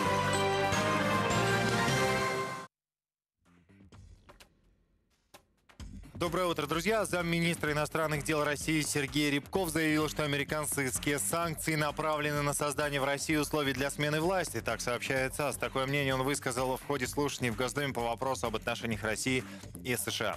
То, что целью санкций является создание социально-экономических условий для осуществления смены власти в России, фактически не скрывается, заявил Рябков. По его мнению, Вашингтон также оказывает давление на своих союзников ради того, чтобы они продолжали антироссийский курс. При этом Рябков подчеркнул, что обострение в отношениях между Россией и Соединенными Штатами не вызывает паники в Москве. Мы не испытываем нервозности от происходящего, стараемся действовать взвешенно, сами контакты не рубим. Наши ответные меры носят выверенный, взвешенный, сбалансированный характер. У нас есть свои контрсписки, но мы их не обнародуем, подчеркнул Рябков. Также он отметил, что отношения между Россией и США начали лихорадить задолго до Украины. Так, по его словам, перезагрузка в российско-американских отношениях фактически прекратилась к началу второго президентского срока Барака Обамы. Ну а в Красноярске возбуждено уголовное дело в отношении 48 48-летнего местного жителя, который прописал у себя в гостинке 248 человек. Официальный красноярец не работал, но фиктивная регистрация приносила ему хороший доход. В газетах и интернете он размещал объявления об оформлении прописки, разумеется, без предоставления жилья брал за это вознаграждение и таким образом за 2014 заработал около 4 миллионов рублей. В настоящее время в отношении красноярца продолжается расследование уголовного дела по признакам состава преступления, а предусмотренного статьей 322.2 Уголовного кодекса Российской Федерации. А, ну и интересная новость. Специалисты по кибербезопасности Великобритании, вот хоть в чем-то Россия номер один, а теперь а, назвали Россию страной самых опасных и квалифицированных хакеров в мире. Так полагают примерно 34% опрошенных экспертов. Это связано с лучшим уровнем образования и политической мотивацией. На втором месте находятся э, киберпреступники из Китая. На долю Великобритании пришлось всего 10% голосов экспертов, причем, согласно исследованию, примерно 75% IT-специалистов полагают, что отсутствие квалифицированных хакеров в Великобритании делает ее доступной мишенью для преступников из других стран. А присвоить определенную национальность хакерам это сложная задача, поскольку злоумышленники часто маскируют свою деятельность, скрывая настоящие данные о себе, сообщается в докладе. А, ну и давайте посмотрим на то, что волнует нас помимо киберпреступности. Это, конечно, пробки в нашем городе. На мониторе Яндекс пробки в эти минуты только что перелистнулось значение светофора в баллах. Там сейчас стало 7 баллов. Напомню, что еще полчаса назад этот показатель был равен двум и, э, ну, что касается того, что в эти минуты происходит, вот высотная и перекресток улицы Стасовой, вы можете видеть плотный-плотный поток автомобилей, а, как вниз, так и вверх. Я не знаю, я честно вам скажу, я очень и искренне сочувствую жителям Ботанического района, потому что, мне кажется, им так тяжело добраться а, каждый день до работы или до дома, и то, что делают власти, застраивает эти районы, конечно, это очень печально, друзья. Но давайте перейдем от лирики э, к тому, как предстоит нам двигаться. Вот Шахтеров Молокова перекресток мы тоже здесь видим везде свет фар. Если вот обратиться на Яндекс Монитор, то как раз на улице Высотной произошла сегодня авария. Уже этим утром кто-то это сделал. А левый ряд 4 минуты назад э, врезались. Э, следующая следующая авария случилась на Свободном. 26-й автобус в сторону космоса, перекресток, правый ряд, уточняют пользователи э, Яндекс.Карт. На улице Копылова южный проезд, как всегда, в эти минуты стоит. До перекрестка с улицей Пушкина и Ладокиц-Хавели. Если мы спускаемся в центр, то здесь э, сильно красных затруднений по Яндекс.Картам мы не наблюдаем. А, э, коммунальный мост сейчас довольно свободный. Вот улица Матросова немного красного цвета, ну и, конечно, примыкающий э, к кольцу предмостной площади Красраб тоже немного затруднено движение. Из остального, в принципе, таких колоссальных затруднений, серьезных аварий пока нигде не зафиксировано. На Мичурина есть одна авария, но э, сильно движению пока не мешает, хотя случилось уже 50 минут назад. Вы знаете, вчера я заметил просто невероятное количество аварий в нашем городе. Ну, правда, было просто... Не, ну, я, я такого еще не видел. И, и при этом, к сожалению, их почему-то никто не разбирал. Вот такая печальная ситуация. Давайте еще немного о печальном поговорим. Это курсы валют на сегодняшний день. Вот как они выглядят. Итак, цена американской валюты сегодня 53 рубля и 30 копеек, а единой европейской валюты 65 рублей и 42 копейки. У нас есть еще одно поздравление, объявление. Андрюша, напомните мне, пожалуйста. А, наш голкипер сборной Роман Черных, он же а, голкипер команды Енисей. Вчера у него родился сын, поэтому мы с ним, мы его с этим и поздравляем, поскольку у нас есть э, хоккейные фанаты. Вот так что, друзья, мы очень болеем. Э, и болеем за Енисей и поздравляем нашего Романа Черных. Теперь хорошего вам утра. Сейчас мы будем говорить наверняка о модных новинках. Утренние новости. 8 часов и 7 минут. Всем доброе утро. Где в нашем городе можно научиться стильно одеваться? Ну, чтобы, например, удивить своим шикарным нарядом коллег на предстоящих корпоративных праздниках. Об этом расскажет наш замечательный эксперт в модной индустрии Юлия Уколова буквально через одну минуту. Ну, а сейчас у нас авторская рубрика Василия Баранова. Поделкой сегодня сделаем Деда Мороза с деревянной бородой.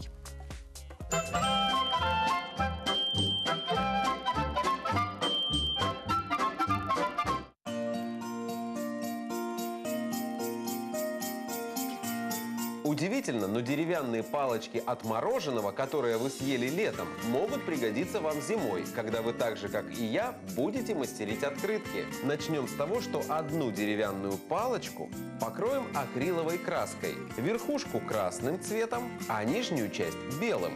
Пока краска сохнет, можно вырезать из картона заготовку для открытки.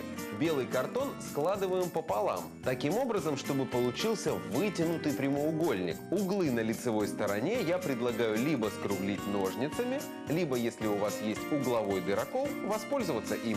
Теперь мне понадобится красный картон. Вырезаем из него треугольник и приклеиваем на лицевую сторону открытки. На этом треугольнике должно появиться еще две тонкие полоски. Белая внизу, черная посередине и небольшой желтый квадратик прямо на черной полосе. Это будет пряжка. Пришло время к этому коллажу добавить палочку. Приклеиваем ее также универсальным клеем и дополняем бумажными усами, двумя помпонами, красным и белым, и глазками, нарисованными маркером. Ручки и ноги рисуем сначала карандашом, а затем обводим ручкой либо фломастером. Открытка завершена. Кстати, используя эти же материалы, можно смастерить и другую открытку большего размера, на которой поселятся сразу несколько снеговиков с палочками разной длины.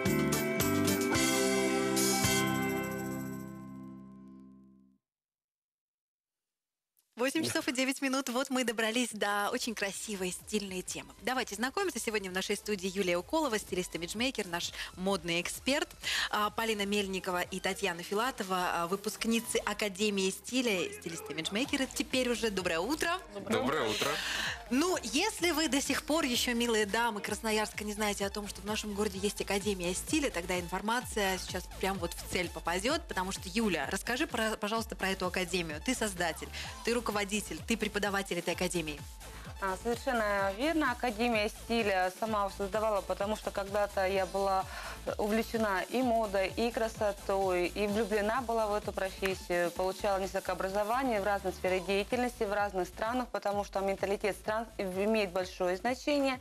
Поэтому, когда уже получил достаточно большой опыт и практики, тогда была организована именно Академия стиля, где я с удовольствием, огромным удовольствием и опытом делюсь со своими как говорится, коллегами. Я их не могу назвать студентами, потому что, по большому счету, а, мы потом продолжаем совместно работать, вести ме- совместные мероприятия, поэтому это мои коллеги. Любой ли человек, любая дама может попасть в Академию стиля? Или это только для тех, кто уже в профессии находится?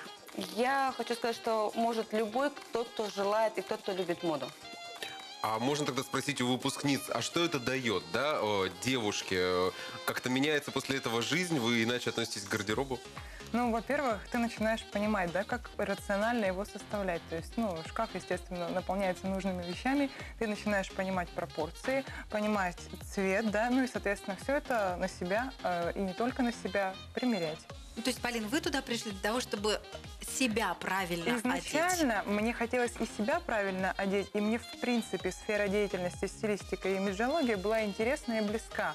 То есть, ну, я предполагала, что, возможно, это станет моей новой профессией, потому что так я э, занимаюсь, ну, и работаю в рекламе различными делами, вот. Ну и, соответственно, вот, наверное...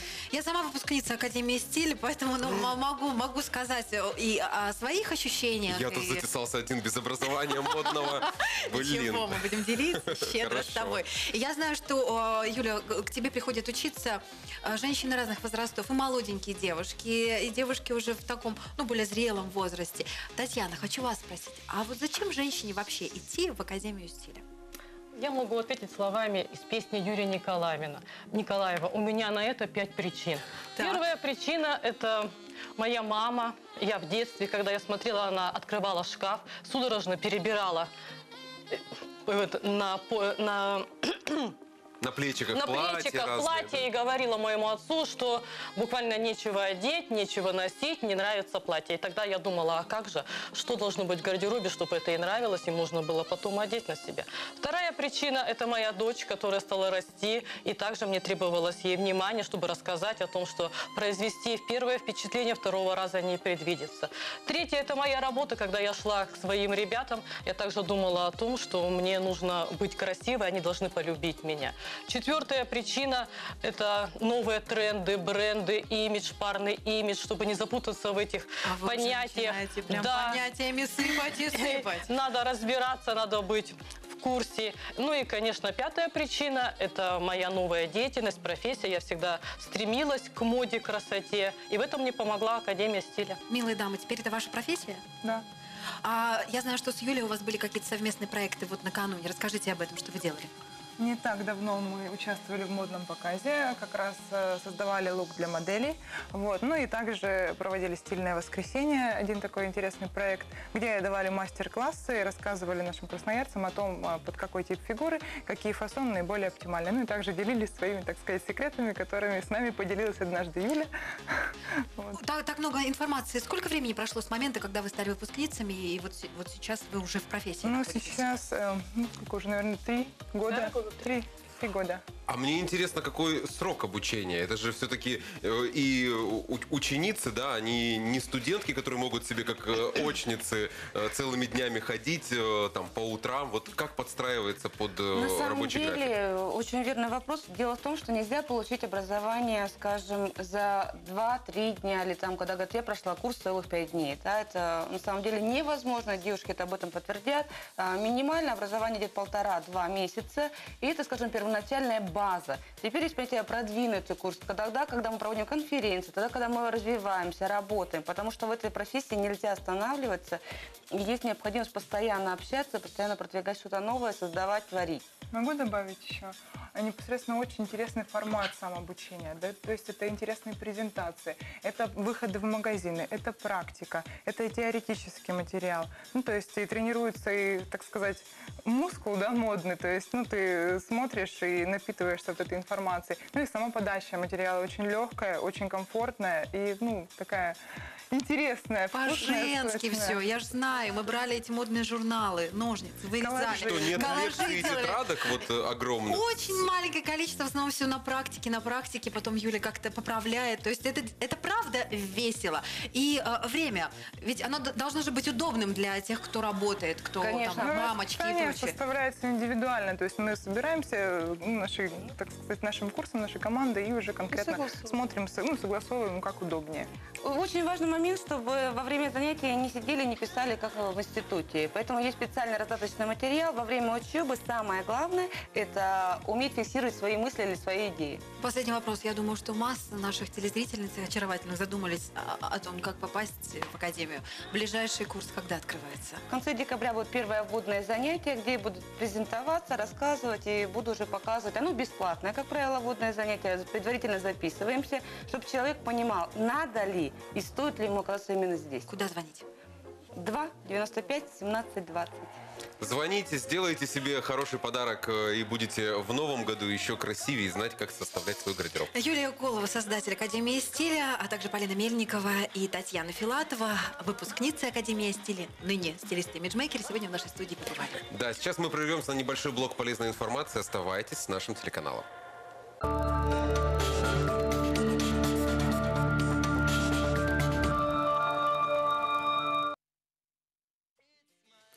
Здравствуйте и хорошего утра. Екатерина Егорова, представитель чудо-магазина, сегодня у нас в гостях. И Василий э, пытается воспользоваться случаем для того, чтобы обкатать вот этот замечательный э, массажер для ног. да, он очень удобен тем, что, смотрите, у меня есть пульт дистанционного управления, я могу запустить массаж, даже, в общем-то, не наклоняясь. Издалека. Да. Ну, когда я запущу тебе массаж? А что это Включили? ты? Массаж мне он будет. О, да. И пошел массаж. Э, Катя, расскажи, пожалуйста, ведь можно не только ступню туда помещать, можно еще что-то массировать. Совершенно верно. Массажер блаженства предназначен для массажа не Массажер только... блаженства. Блаженство. Неспроста оно так называется. Я думаю, Василий поделится Да. потом своими впечатлениями. Э, Он также предназначен для массажа э, щиколоток. В принципе, э, можно в любом положении его использовать. Можно сидя использовать его внизу, можно поставить его чуть повыше, э, развалиться на диване, э, поместить туда э, ножки и наслаждаться массажем уже в другом положении.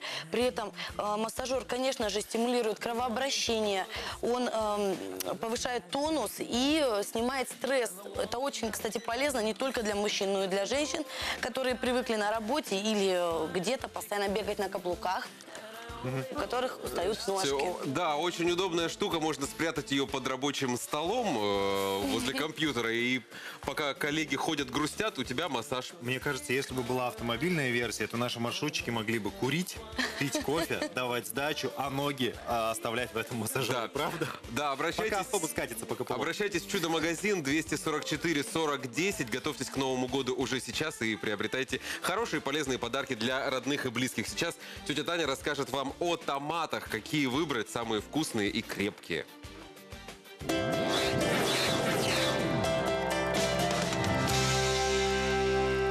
Доброе утро, дорогие телезрители. Сегодняшняя тема – засолочные томаты.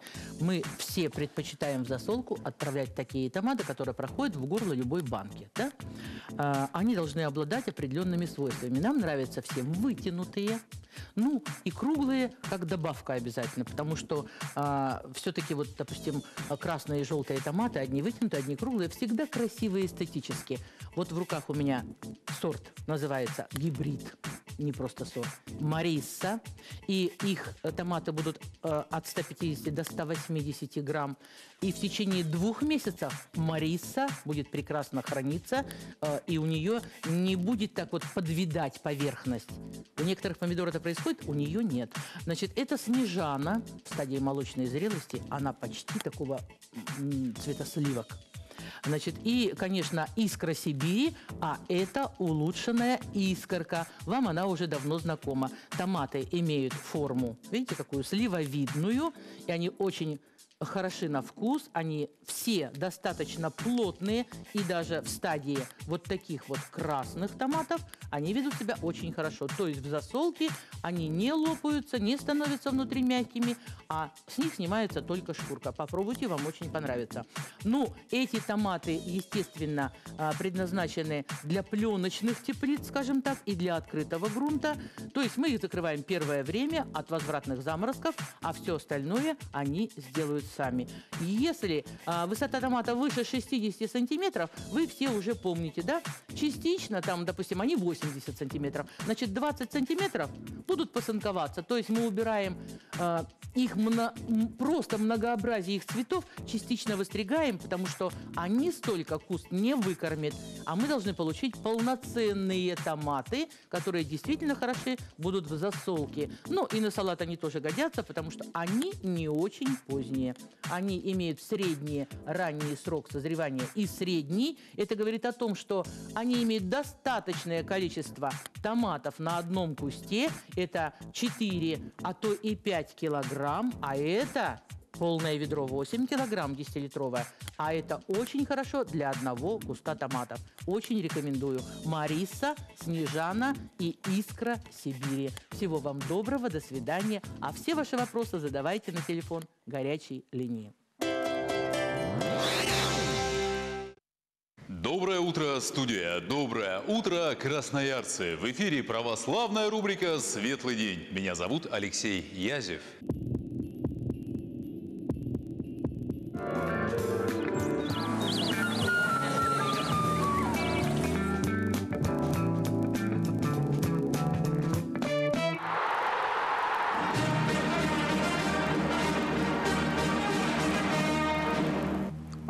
России закончился футбольный сезон. Не самый удачный, мягко говоря. Кстати, в этой игре миллионеров есть люди, для которых вера – очень важная составляющая часть жизни. Вот тройка православных футболистов, которые удивили редакцию «Светлого дня». Матея Кежман, Сербия. Форвард, повесивший бутсы на гвоздь три года назад, наколотил за карьеру почти 260 голов. Поиграл за такие топ-клубы, как Челси, Атлетико Мадрид и ПСВ. Когда в составе Челси Кешман прилетел в Москву на матч Лиги Чемпионов, он выкроил время, чтобы посетить храм Христа Спасителя и Покровскую церковь. На плече футболиста лик его святого покровителя апостола Матфея, а на руке татуировка «Меня может судить только Бог». Но сам Матье признает, что его страсть к тату от лукавого, и он борется с ней по мере сил. Я много читаю, правда, все книги связаны с религией. В том числе благодаря книгам я многое знаю о России. Я восхищаюсь Серафимом Саровским и молюсь ему практически каждый день. Андрей Кирлик, Украина. Один из самых авторитетных украинских футболистов 90-х и нулевых. В чемпионате Украины провел 331 матч. Был капитаном Одесского Черноморца. Завершил карьеру в 2008 году, а в марте 2009 его рукоположили в диаконы. Сейчас Андрей Кирлик – настоятель храма иконы Пресвятой Богородицы «Призри на смирение». За несколько лет он фактически с нуля построил этот храм. Когда мы обращаемся к Богу только в житейских проблемах, это касается и спортсменов, это мне непонятно. Когда я сам играл в футбол, не раз слышал выражение «что-то нет фарта». Надо пойти в церковь, свечку поставить. Это неправильное отношение с Богом, товарные. Андрей Симак, Россия.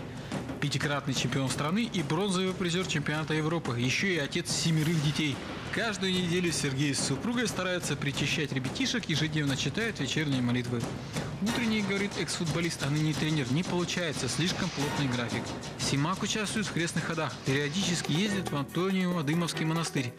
Дружит с братьями этой обители. Кстати, по словам Сергея, многие монахи – завзятые футбольные болельщики. Кроме того, вместе с православными священниками он помогает детям-сиротам. Неудивительно, что Сергея Симака, поигравшего за ЦСКА «Зенит», уважают даже фанаты самого непримиримого соперника этих клубов – «Спартака». Самое главное – то, для чего создал человека Бог, для того, чтобы творить добро и любить ближнего. Наверное, когда большинство людей будет это понимать, наверное, у нас и жизнь будет гораздо добрее и комфортнее.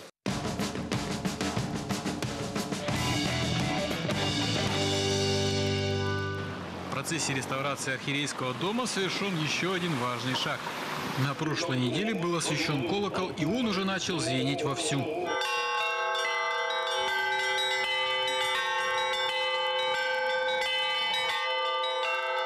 Чин освящения совершал митрополит Пантелеймон в присутствии торжественной православной общественности.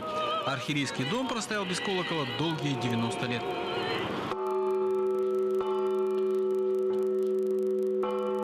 Дальше просьба о помощи. Восьмимесячная Ксения Храмова находится в тяжелом положении в одной из красноярских больниц. Помочь девочке может лечение в Германии. На него нужно собрать почти 5 миллионов рублей. За всеми подробностями обращайтесь на наш сайт «Православная Сибирь» или на нашу страницу ВКонтакте. 15 декабря заканчивается срок принятия заявок на медиафестиваль «Сретенская свеча». На этом конкурсе оцениваются фильмы, видеоролики и прочее творчество. На форуме будут состязаться в креативе дети и молодежь из воскресных школ Красноярской епархии. Сам фестиваль пройдет уже третий раз в феврале в Доме кино. Ну вот и все. Мы встретимся с вами в новом утре через неделю. В интернете ищите «Светлый день» на портале «Православная Сибирь» или на нашей страничке ВКонтакте. Пусть сегодняшний день будет для вас светлым, да и вся неделя тоже. И храни вас Господь.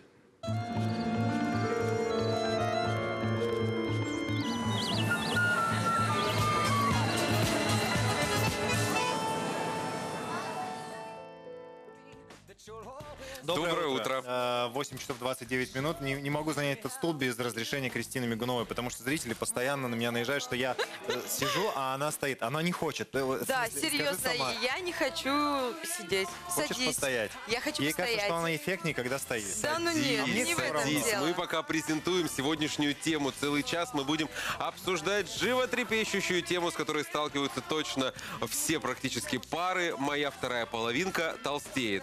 Но не в смысле, что вы, э, вот ваша половина начала толстеть, а ваша вторая половинка, ваша девушка или ваш молодой человек. Ведь когда получаешь комфорт, да, сыто дома, спокойно, ну как, чего же не расслабиться, да? Ну да, семейная жизнь располагает к тому, чтобы люди расширялись, и, наверное, это в какой-то мере хорошо.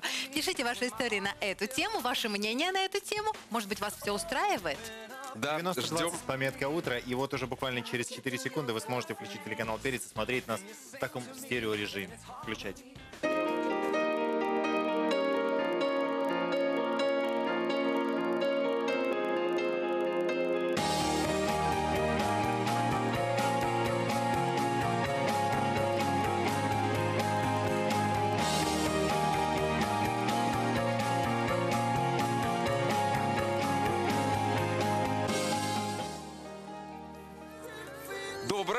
Смотрите телеканал «Перец». Нас здесь много. Александр Смол, Кристина Мигунова, Василий Баранов и кто? Татьяна Ушакова. Да, точно. Итак, сегодня мы говорим на тему а, «Ваша вторая половинка начинает расширяться». Как вы к этому относитесь? 90-20 пометка «Утро», либо заходите в нашу группу ВКонтакте под названием «Новое утро». Там тоже от- а- а- оставляете ваши истории. Возможно, и ваши, ваши половинки там появятся на фотографических О, карточках. фотографии с Да. удовольствием посмотрим. До и после. Кто, кто осмелится вот это сделать? Ну, а может быть, они с иронией Анонимно же относятся. не получится, правильно? Ну да. Потому что лицо, можно лица обрезать. Нет, просто есть девушки, которые нормально относятся, но, по крайней мере, не сходят с ума от того, что там, ну, немножко поправился, да, Я могу предположить, мужчина. что у нас появятся фотографии, знаете, до-после. То есть была такая, стала такая. Вот, вот такие фотографиями, в общем, люди гордятся. Да, да, И, да. в принципе, могут тоже их отправлять. А, между прочим, в интернете очень большая подборка, я вот вчера смотрела. Почему-то это все касается в основном американцев, но очень большая подборка фотографий, когда два пухлячка сошлись вместе, стали жить, и буквально прошел год, и они оба Занялись очень собой. стройные, очень красивая, эффектная пара сразу же предстала перед моими глазами.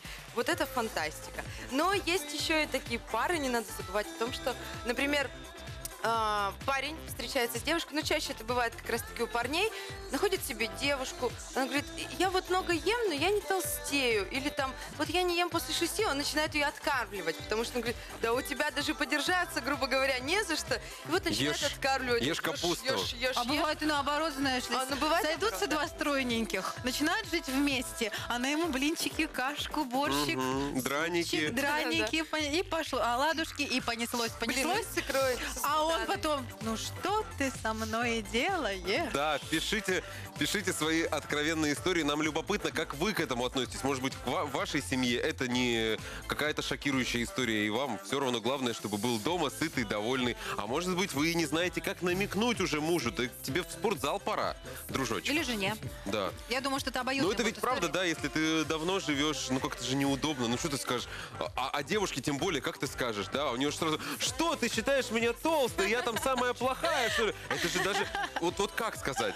Вот как, вот, это же нереально, без Вы скандала знаете, вы знаете, в семейной нельзя. жизни, не, не секрет же, да, для вас, есть интимные отношения, да, интимная сторона. И вот если, мне кажется, что если ваша вторая половинка перестает э, уделять вам в этом смысле внимание, надо уже о многом задуматься. В том Знаешь числе. еще какая есть фраза из украшения Строптивого? А, лучше колыхаться на волнах, чем биться о скалы. Вот так обычно оправдывают себя девушки-пышечки всегда. Да, да. А, Саша, а что ты так Да я, задумался? я же единственный здесь, кто знает о семейной жизни, не понаслышке. Да, да, Так да. расскажи, ну вы, вы оба стройные, как вам это Да удается? как мы оба строим. Ну, Женя Ой, ну не стройная, надо, вот эти- стройный. Тише. Я, у, меня же был, у меня же был такой момент, когда он там поднабрал веса. Она вчера Когда мне у это- тебя был такой... Подожди, она вчера мне это вспоминала. Вот у вас завтра тема, моя вторая половинка толстеет. Что ты скажешь? Я думаю, я говорю, я еще не думал. А ты не хочешь сказать, как я тебя... Наверное, всем расскажешь, какая я зна- злая, как я тебя гнобила, когда ты поправился. Она знаешь, как делала всегда? Я когда поправился, она все время смотрела на мой живот. А, Каждый просто раз смотрела, да? Просто смотрел. Я говорю, ну что ты смотришь на мой живот? Да нет, я просто так посмотрела. Меня это так... Я как бы никогда не считал себя таким... Ну, она очень жестко меня в этом держала. А сама она как, как ей удается быть такой стройной? Мне кажется, она обычная всегда такой была. И- Саша, ты, тебе кажется, ну, мы Да, ну, видели наверняка твою есть. Вот расскажи, хитрости. она мало ест у тебя или все тебе скармливает, я не знаю. Как это происходит? Или ничего не готовите вы дома, в конце концов? Чем Ну, вы питаетесь? Ну, я не знаю, я вот я то, что бросаю ей в клетку, Перед это, это- это обычно что-то диетическое. Морковь, капуста. Йогурт, что-нибудь там, не знаю. Эй, лови капусту. Брокколи. Ну что, раз уж у вас такая идеальная семейная жизнь, э, Я расскажу вам об идеальной погоде на сегодняшний день через секунду.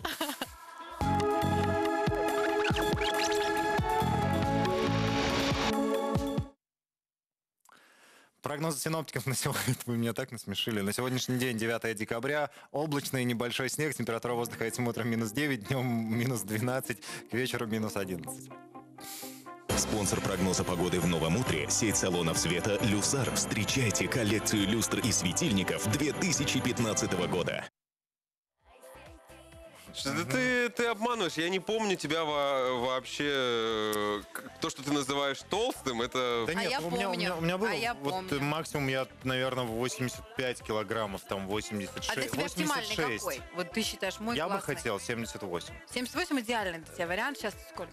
Сейчас, ну сейчас я 80, 80, там 79, 80. Ну я бы даже 76 хотел. Я не потому, что там мне нравится как бы быть тощим, да, или что. Я просто чувствую себя легче. Ну для тех задач, которые я ставлю перед своим телом иногда, проще, когда ты меньше вешаешь. Вот сегодня мы едем кататься, например, с гор, да, ну на доске. Я знаю, что когда я за лето набираю там какой, ну за это лето я, слава богу, наоборот сбросил вес. Потом тяжело подпрыгнуть. Прям ты чувствуешь, что твое тело, оно, ну как бы не привыкло к такому весу. А ты, как, ты как с этим? Ты просто перестаешь питаться или ты все-таки занимаешься? Я вообще ничего не делаю. Не перестаю ни питаться, не питаюсь. Это как-то вот, ну, сезон так происходит, что да. Если есть какое-то увлечение, я всегда стройнею. Если увлечения нет и делать нечего, и ты ходишь чай с печеньками дома постоянно ешь, ты, конечно, поправляешься. Вот. А я люблю макароны. Я могу съесть 7 тарелок макарон. Честно. Приносите, С сыром и с приносите, сварим, икрой. сварим, я вам докажу. Я в детстве в 13 лет съел, съел 5 тарелок спагетти вот таких вот. Мне кажется, Никто не это заявка на эксперимент. Да, да, да, Саша. Ну, Не пять, пять обещаю съесть. Пять. Пять съем, сто А процентов. какого размера должны быть тарелки?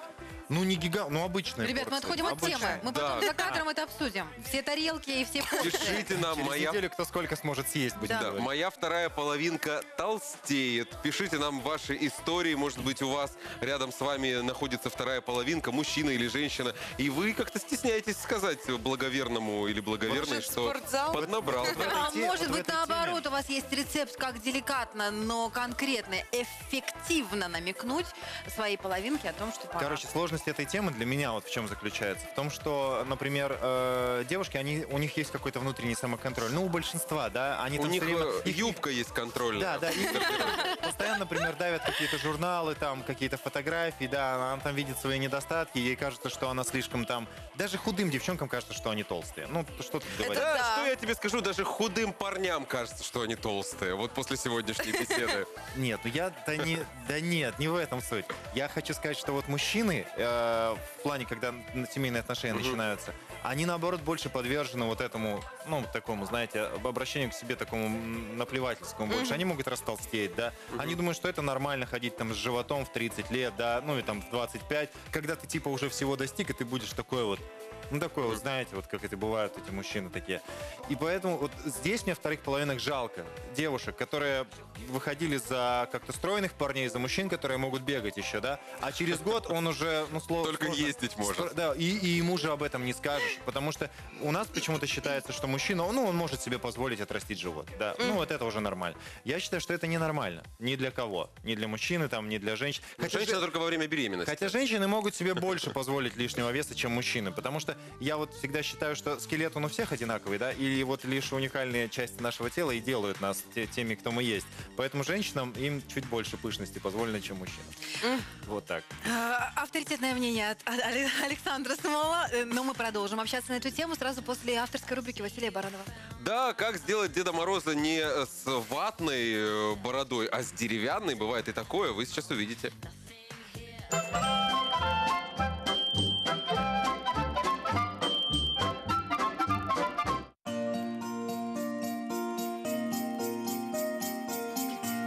Удивительно, но деревянные палочки от мороженого, которые вы съели летом, могут пригодиться вам зимой, когда вы так же, как и я, будете мастерить открытки. Начнем с того, что одну деревянную палочку покроем акриловой краской. Верхушку красным цветом, а нижнюю часть белым. Пока краска сохнет, можно вырезать из картона заготовку для открытки. Белый картон складываем пополам, таким образом, чтобы получился вытянутый прямоугольник. Углы на лицевой стороне я предлагаю либо скруглить ножницами, либо, если у вас есть угловой дырокол, воспользоваться им. Теперь мне понадобится красный картон. Вырезаем из него треугольник и приклеиваем на лицевую сторону открытки. На этом треугольнике должно появиться еще две тонкие полоски. Белая внизу, черная посередине и небольшой желтый квадратик прямо на черной полосе. Это будет пряжка. Пришло время к этому коллажу добавить палочку.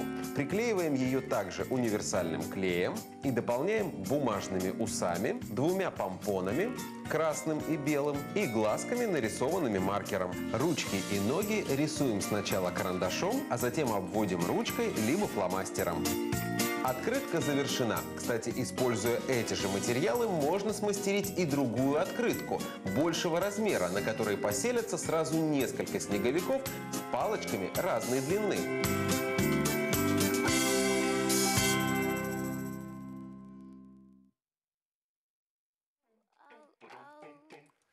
Всем еще раз хорошего утра, друзья. Мы сегодня говорим на такую интересную тему. Моя вторая половинка толстеет. Да, встречаем утренних гостей. Да. Ирина Головина, психотерапевт. Доброе утро. Вообще, это нормальная тенденция, что когда люди сходятся, кто-то из них начинает толстеть. Часто Какое ли отношение проблема? вообще имеет к тому, что люди сходятся? Я не поняла. Ну, вопрос. бывает такое, знаете, когда Ну точка да. комфорта Поняла. такая, такая до- достигается вот у семейных пар почему-то. Когда, когда, ну, я вот объясню свою точку зрения, не знаю, как Давайте, это в психологии, да. Э, Когда мужчина или дама, они э, в таком поиске, да, им надо заработать, ну, привлечь внимание к своему телу, там, к себе как-то, в, в частности, из-за своего тела, они пытаются держать себя в форме. Как только ты понимаешь, что ты уже добился определенного результата, как будто золотую медаль ты на Олимпиаде уже получил, и можно не, не- не заниматься, они становятся такими, ну, типа, не пойду в спортзал, поем Ну, на ночь. поняла, поняла. Ваш вопрос, Саш, поняла. Да, в этом Это же есть... частое явление, В этом есть бывает. доля истины. Когда э, мы на что-то замотивированы, когда у нас есть какие-то особые интересы, когда у нас есть особое развлечение, увлечение, то, конечно, образно говоря, во-первых, ты эндорфины получаешь, вещества радости от определенных этих вещей, да? А во-вторых, ну, образно говоря, ты, наверное, даже больше в активности. А здесь у тебя как бы дом, семья, работа, дом, семья, работа. Появляется Ну, да, некая до- рутина, до, да? до, до штампа в паспорте мужчина еще может выбирать, да, себе спутниц жизни, ну, потому что это еще не закреплено государством. И также женщина может выбирать. А когда это уже случилось, можно расслабиться. Других он уже не выберет, потому что сначала нужно будет развестись. А это процесс долгий. Ребят, я бы так не ставила вопрос. Вы как-то очень узко начали говорить на эту тему. Я бы так не ставила вопрос. Э, Действительно, изменение в весе у человека происходит независимо, сошелся он с кем-то, не сошелся. Это, во-первых, идут возрастные изменения. Первое. Доказано. Наука, я не буду цитировать кем и когда, чтобы лишнюю информацию не выдавать, я буду только голые факты говорить, что до 30 лет лишний вес считается больше алиментарно. Алиментарно – это неправильное питание. Пепси-кола, кока-кола, фастфуд, перекусы – это причина до 30 лет. После 30 лет начинают включаться некоторые изменения нашей физиологии которые у кого-то в большей степени будут проявляться, у кого-то в меньшей. Но за каждые 10 лет то, что мы называем словом обмен веществ, на 10% снижается. Это мы называем в народе. Это на самом деле активность э, сердечно-сосудистой системы, дыхательная. Еще раз говорю, я как врач не буду углубляться в физиологические подробности, я буду говорить голые факты. То есть, образно говоря, к 40 годам я занимаюсь, я занимаюсь избыточным весом всю жизнь. Я пришла в там, 89 году в Институт медпроблем Севера работать в отделении питания, получила специализацию в Институте питания и с тех пор так или иначе эту проблему изучаю как психотерапевт. И у меня есть моя целевая аудитория. Я знаю, что первые звонки начинают от женщин вот чуть за 30. Я поправляться начала. То есть при том же питании. При том же питании. При той же активности. Но организму надо уже на 10% меньше пищи. А у нас же есть привычка вот это кушать, вот эту, да? Вы знаете, мой товарищ говорит на этот счет, и простите меня за аналогию, в Бухенвальде толстых не было. Э, Поэтому чем меньше ты ешь, тем, тем, тем стройнее ты бываешь. Режим питания – это Абсолютно, самое Александр, главное. согласна с вами. Более чем. Но еще раз вам говорю, что в Бухенвальде была норма калорийности 800 калорий.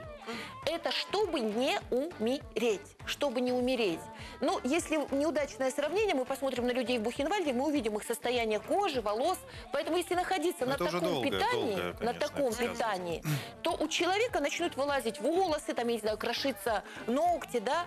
Поэтому это как бы сравнение неудачное. Но, еще раз говорю, то, что вы сказали, Александр, это абсолютная правда. Ну, просто это я говорю к тому, что с возрастом, если ты хочешь быть такой же, какой ты была в 20 лет, к этому надо будет прилагать больше усилий на 10%, через 10 Либо, лет либо на на 20%. 10% меньше есть, либо на 10% больше двигаться. Конечно. Такой выбор. А, э, ну, Нет, ребятки, вот тут тоже считается, что с возрастом нельзя увеличивать сильно нагрузку. потому что нагрузка для человека – это стресс.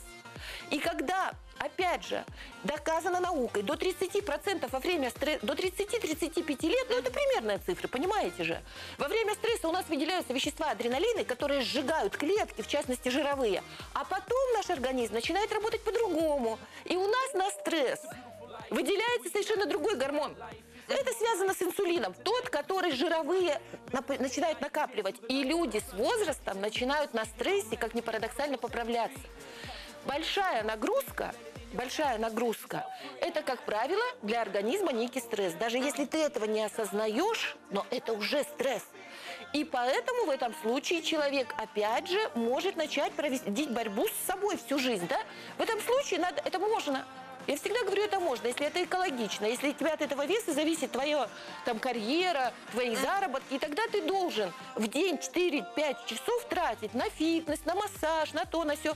Если у тебя нет возможности, а потом ведь у женщин, дорогие мои, не забывайте, ведь вот рожавшая женщина и не рожавшая – это две совершенно разных Да вот женщины. многие, да, сталкиваются с проблемой, вот э, в частности... Во время родов и беременности физиология организма. Организм начинает выделять те вещества, которые способствуют запасу жировой ткани. Короче, это, сло- это очень сложная тема. У вас слишком глубокие знания для того, чтобы втиснуть эти в короткие временные рамки. Вы скажите, как сказать своей второй половинке быстренько, и мы должны смотреть. А, мы продолжим после Да, рекламного сюжета. Давайте продолжим тогда узнаем после рекламного сюжета, как сказать своей второй половинке, что она, она или он поправились. Есть какой-то универсальный? Вы пока подумайте, мы посмотрим рекламный сюжет.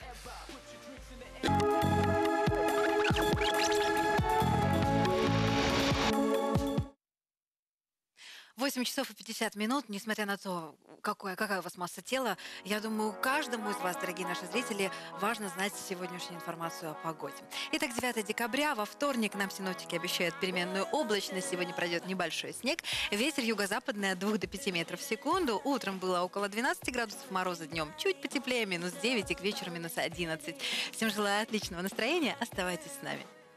Прогноз погоды в Новом Утре представляет свадебный торговый центр «Блэс». Создавая свой свадебный образ, начните с лучшего.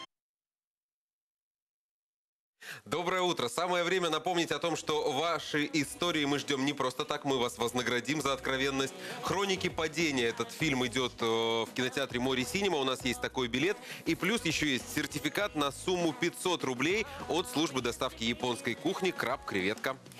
Да, там сейчас действует замечательная акция «Закажи три ролла, а заплати всего за два». Количество роллов не ограничено, но все подробности вы можете узнать по телефону 218 09 18.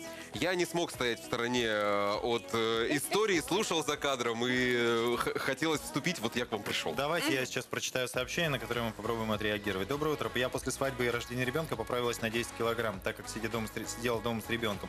Но я не сильно придавала этому значения. Мой мудрый муж никогда не говорил мне, что я толстая. И у меня что-то не так. Он просто подарил мне весы. И тут понеслась работа над собой. Вот как сделать это, чтобы никого не обидеть? Если мы говорим не о возрастных изменениях веса, а, Просто именно вот вот- люди, люди привыкли друг к другу к таким, какие они есть, а потом смотрят, кто-то поправился на 10 килограмм. и не хочет возвращаться в, нормальное русло. намекнуть просто А человеку? если человек сам не хочет возвращаться в нормальное Но он не русло, замечает, например. Он-то видит Ну себя да. каждый день, он даже не придал этому значения. Вот он привык к тому весу, в котором он сейчас находится. А вторую половинку это не устраивает. Вот если не сказать прямо, то как, по крайней мере, намекнуть деликатно? Ребят, я не знаю. Вот понимаете, вот, наверное, все-таки я психотерапевт, и, наверное, я все равно буду в другом контексте на этот вопрос отвечать, чего вы от меня ждете.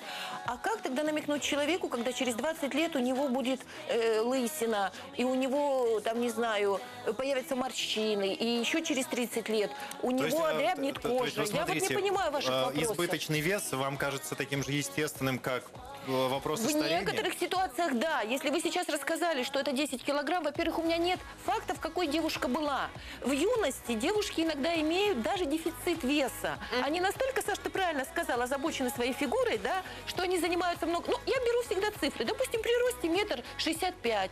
Девушка в юности была 50 килограмм, да, потому что она очень много времени занималась и уделяла своей фигуре. А после родов она стала 60.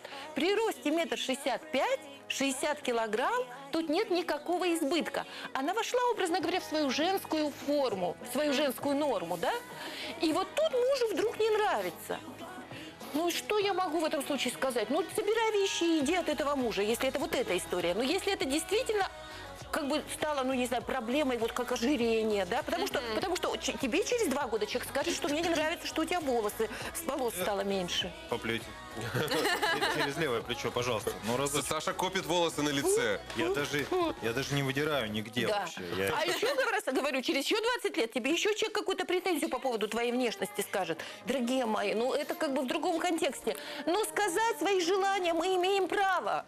Ну, и Мы как имеем это? Я право. вас прекрасно понимаю, есть естественные вещи, но тем не менее, когда ты живешь дома и твои обои темнеют, кому-то это нравится, кому-то нет, кто-то хочет переделать, кто-то возлагает надежды, ну, то есть и, и ожидания на человека определенные. Понятно, это его проблема, возложенные ожидания, для того, чтобы семейное счастье было, ну, таким традиционным, не таким, как в учебниках, а мы все реально сталкиваемся с этой проблемой. Нет, как раз вот то, что вы сейчас сталкиваетесь, это то, что как в учебниках. Да я я хочу, чтобы жена, то, что вы приводите пример, я хочу, чтобы жена была той формы, на которой я с ней поженилась. Вот это учебная вещь. А в реальности в жизни жена будет менять формы, жена будет менять характер, жена будет менять привычки. А Или если муж. муж Или меняет муж. формы, так и что ей Поэтому- привыкнуть к новому мужу с Я животиком? еще раз говорю, в этом случае, во-первых, можно все-таки честно сказать, лучший самый способ это юмор, да?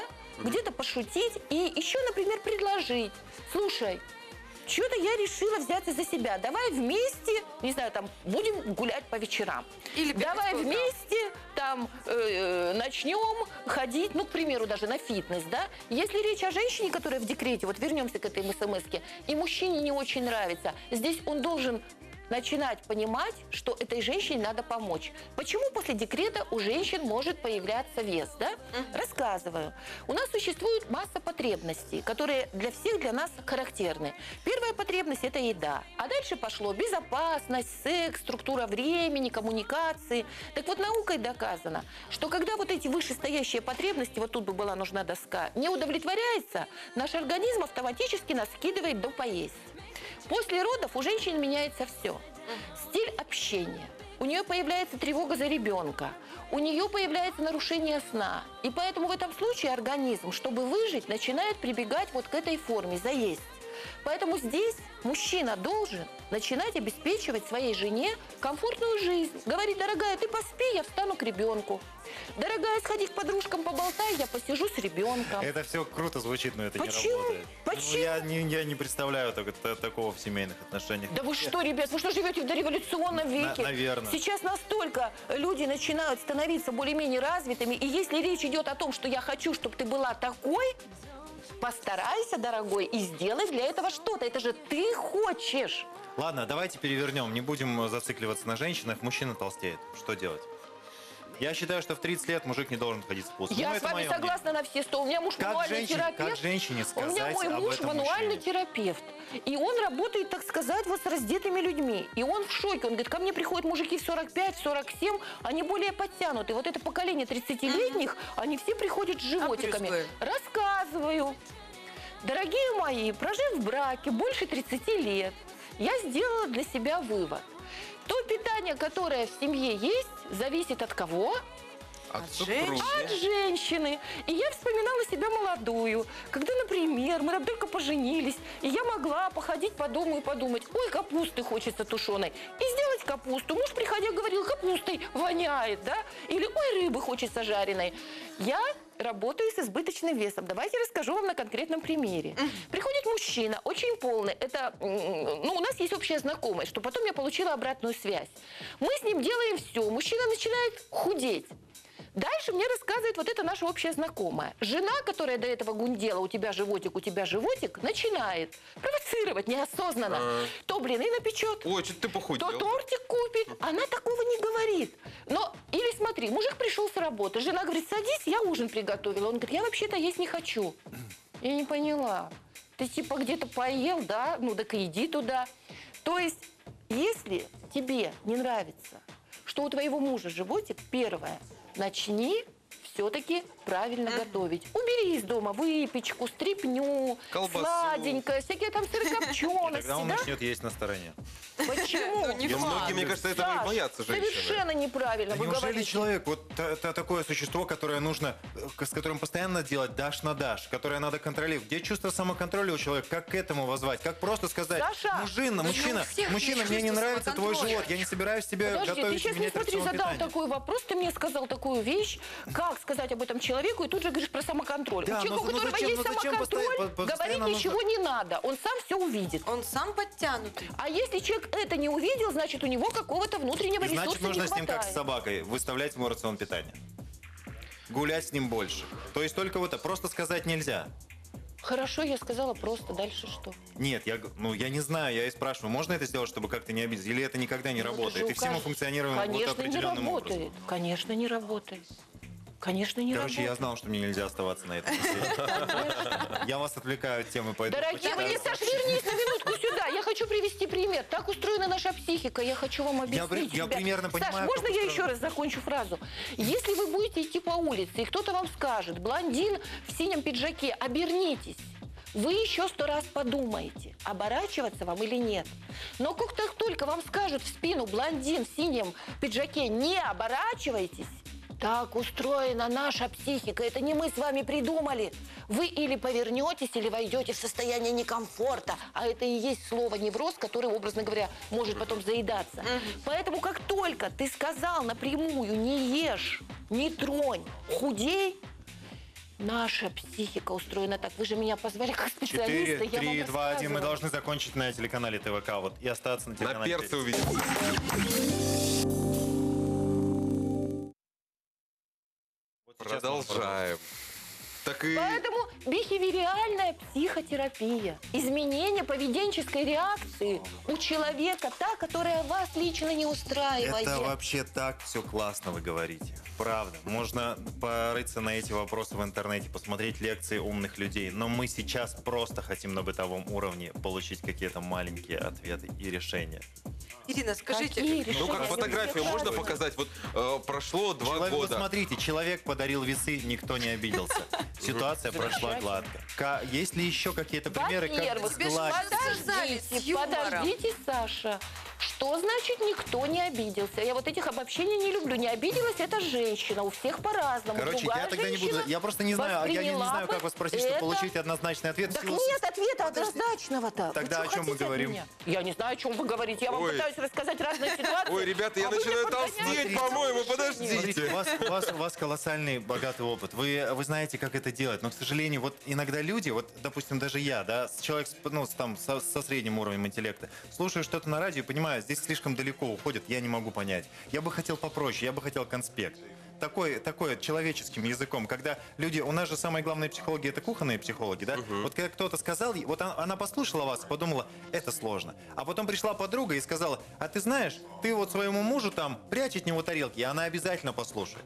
Поэтому я бы хотел от вас, как от компетентного человека, Стой, стой, получить Саш, ты простейший только совет. что сказал, а зачем мы будем дрессировать? А самодисциплина. А чем отличается спрятать тарелку от приготовления вкусной, но не калорийной пищи? В чем эти два подхода отличаются, которые я сейчас дала? Научись готовить пищу вкусную для мужа, но менее калорийную. И спрятанная тарелка. В чем отличие? Короче, сказать ему нельзя об этом. И ей тоже. Я же не знаю, с кем человек живет, мы все разные. Есть которому человеку сказали, и он обрадовался, говорит, спасибо, что ты мне это сказала. Есть человеку, которому только намекнули на его недостаток. Он уже обиделся. обиделся. Я же не знаю, с кем она живет. Ты же живешь с этим человеком, и ты видишь. Кому-то больше сработает юмор. Кому-то больше сработает прямое заявление, вот такая ты мне не нравишься. Кому-то больше сработает вот такая хитрушка по типа пошли погуляем. Кому-то больше сработает не приготовила, э, забыла купить хлеб один день, забыла купить хлеб другой день. В конце концов муж привыкнет есть без хлеба. Я же вам сейчас сказала миллион разных решений, а вы мне говорите, дайте одно, которое надо сделать. Откуда я знаю? У нас поступил вопрос с другого боку. А, моя вторая половинка не толстеет, а мне так хочется, чтобы она набрала хотя бы пару кило. Люблю аппетитных женщин, пишут нам. 6969 номер заканчивается еще и у него.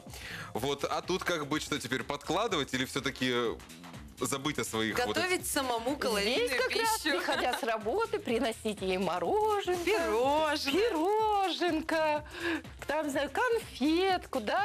И надеяться, что это отложится в тех местах, в которых ты хочешь. Ребят, смотрите, дело все в том, что хотим мы это слышать или нет. Есть понятие среднестатистический. Давайте возьмем рост, например. Допустим, у женщин вот от метр шестьдесят до метр семьдесят. Ну, только что мы были каждый индивидуальный. Но Давайте без среднестатистических данных. Можно я закончу мысль? Но есть женщины, у которых метр пятьдесят пять, метр пятьдесят, метр сорок семь, а есть у которых метр восемьдесят, метр восемьдесят пять, да?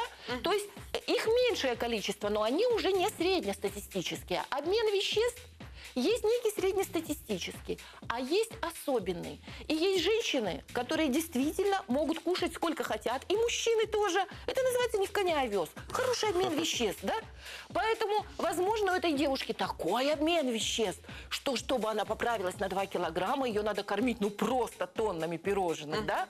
Поэтому, возможно, это ее особенность. За что-то ведь он ее полюбил. Ну да. Ну, наверняка. Пишет нам Татьяна. Смотрите, мой муж весит 120 килограммов. Говорит, что я его закормила. Я начала готовить здоровую пищу, а он начал в супчике добавлять много майонеза. По ночам расслабляется пивом и чипсами. И, э, и Татьяна считает, что все-таки, когда человек сам за себя возьмется, тогда и будет результат. Вот э, от ее здоровой Совершенно пищи толку согласна. не было. Это тоже в этом есть резон. Но человек может сам за себя взяться в случае, если у него появится мотивация. Пока у человека мотивации нет, говорить о самоконтроле невозможно. Чтобы был самоконтроль, мне должно быть выгодно контролировать что-то. Поэтому в этом случае, еще раз говорю, надо или ну, принимать его таким, каким он есть, или все время как-то каким-то образом составлять ситуации, в которых он будет понимать, на столбы его таскать. И когда он пару раз с одышкой пройдется, да, и когда в самолете летите, и он там вертится, не может устроиться, ты говоришь, дорогой, это твои 10 килограмм тебе мешают, да?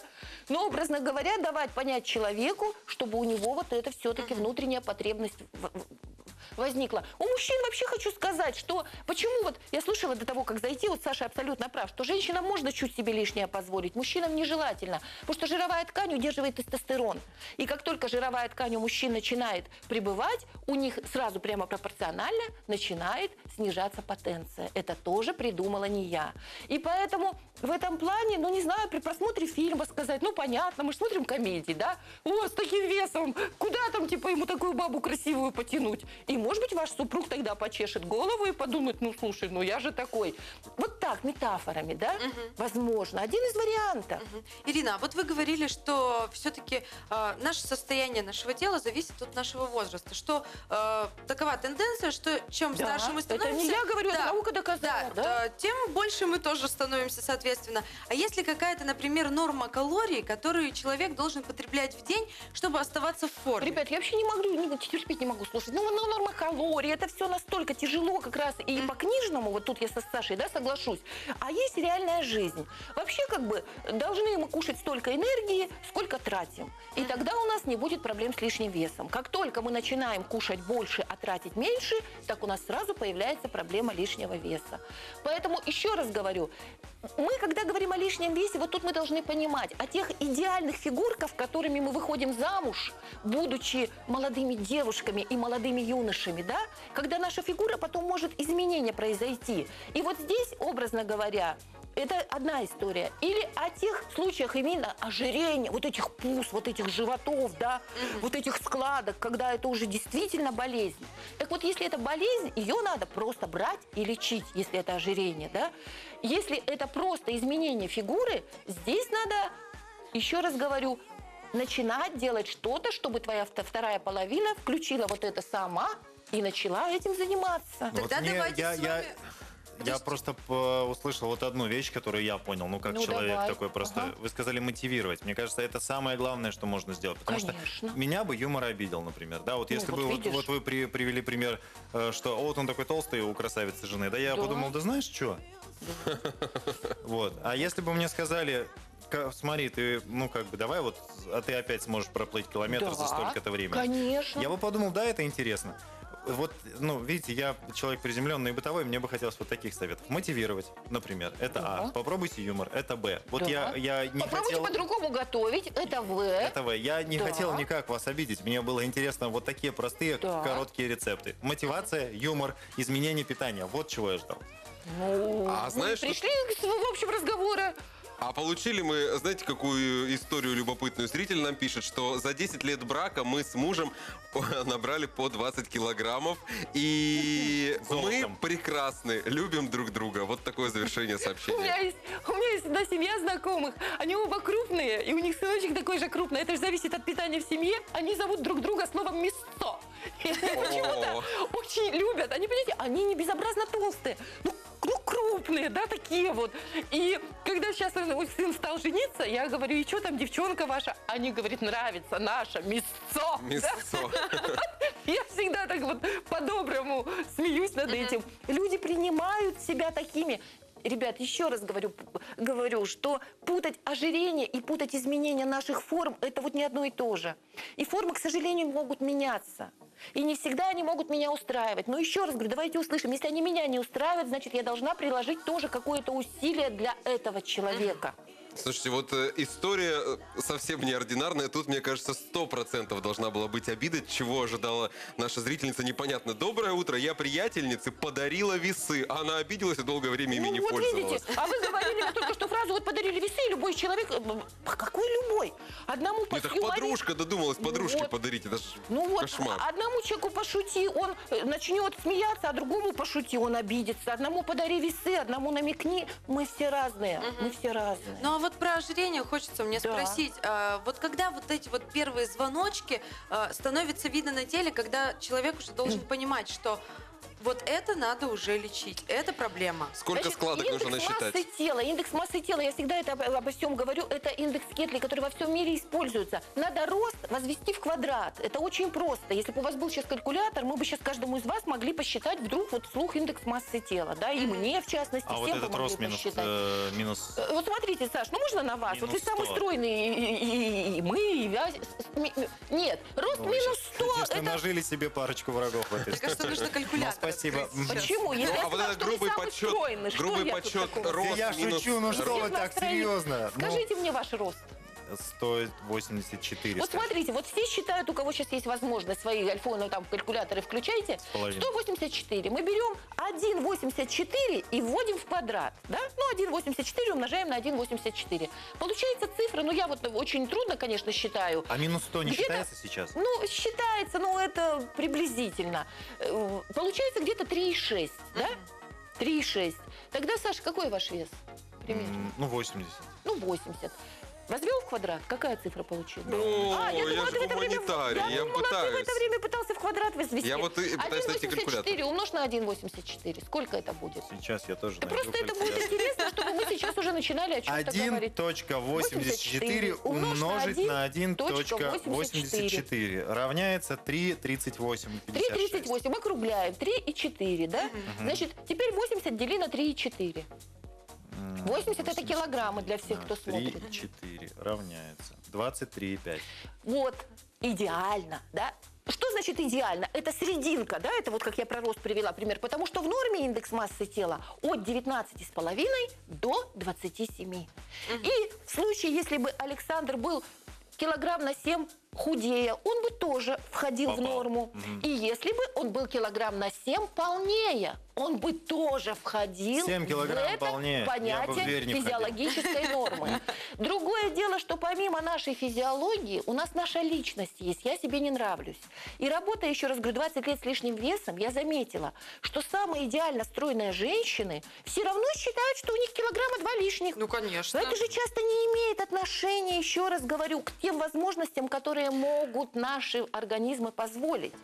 Или мужчине вдруг кажется, что он женился на этой дюймовочке, и она будет всегда дюймовочка. А она набрала вес, у нее не 19 индекс массы тела, как при замужестве, а 24. Она по-прежнему в норме, но уже больше. Конечно. Спасибо огромное. Мы сейчас посмотрим э, любопытный сюжет, потом вернемся к вашим истории. А историй про э, пополнение веса очень много. Что же надеть? Думаю, девушки меня поймут. Этот вопрос задаем мы себе очень часто. Особенно, когда собираемся на свадьбу подруги, вечеринку или готовимся к собственной свадьбе. Сегодня мы расскажем о том, какой наряд выбрать, чтобы выглядеть лучше всех на торжестве. Для романтичных натур розовый цвет и асимметричный крой. Хотите кукольный образ? Обратите внимание на платье освежающего мятного оттенка в стиле Baby Doll. Если вы предпочитаете элегантные и женственные наряды, платье из шифона и трикотажа с объемным декором. Такое белое платье – находка для тех, кто не планирует хранить свадебный наряд в шкафу. Оно отлично подойдет для любых праздников. И Если ваш размер больше 46-го, не отчаивайтесь в поисках красивого наряда. Просто загляните в салон «Силуэт». Здесь вы найдете платье для любого случая. Если вы не определились с нарядом, приходите в салон вечерних платьев «Силуэт» в торговом комплексе «Базар» на втором этаже.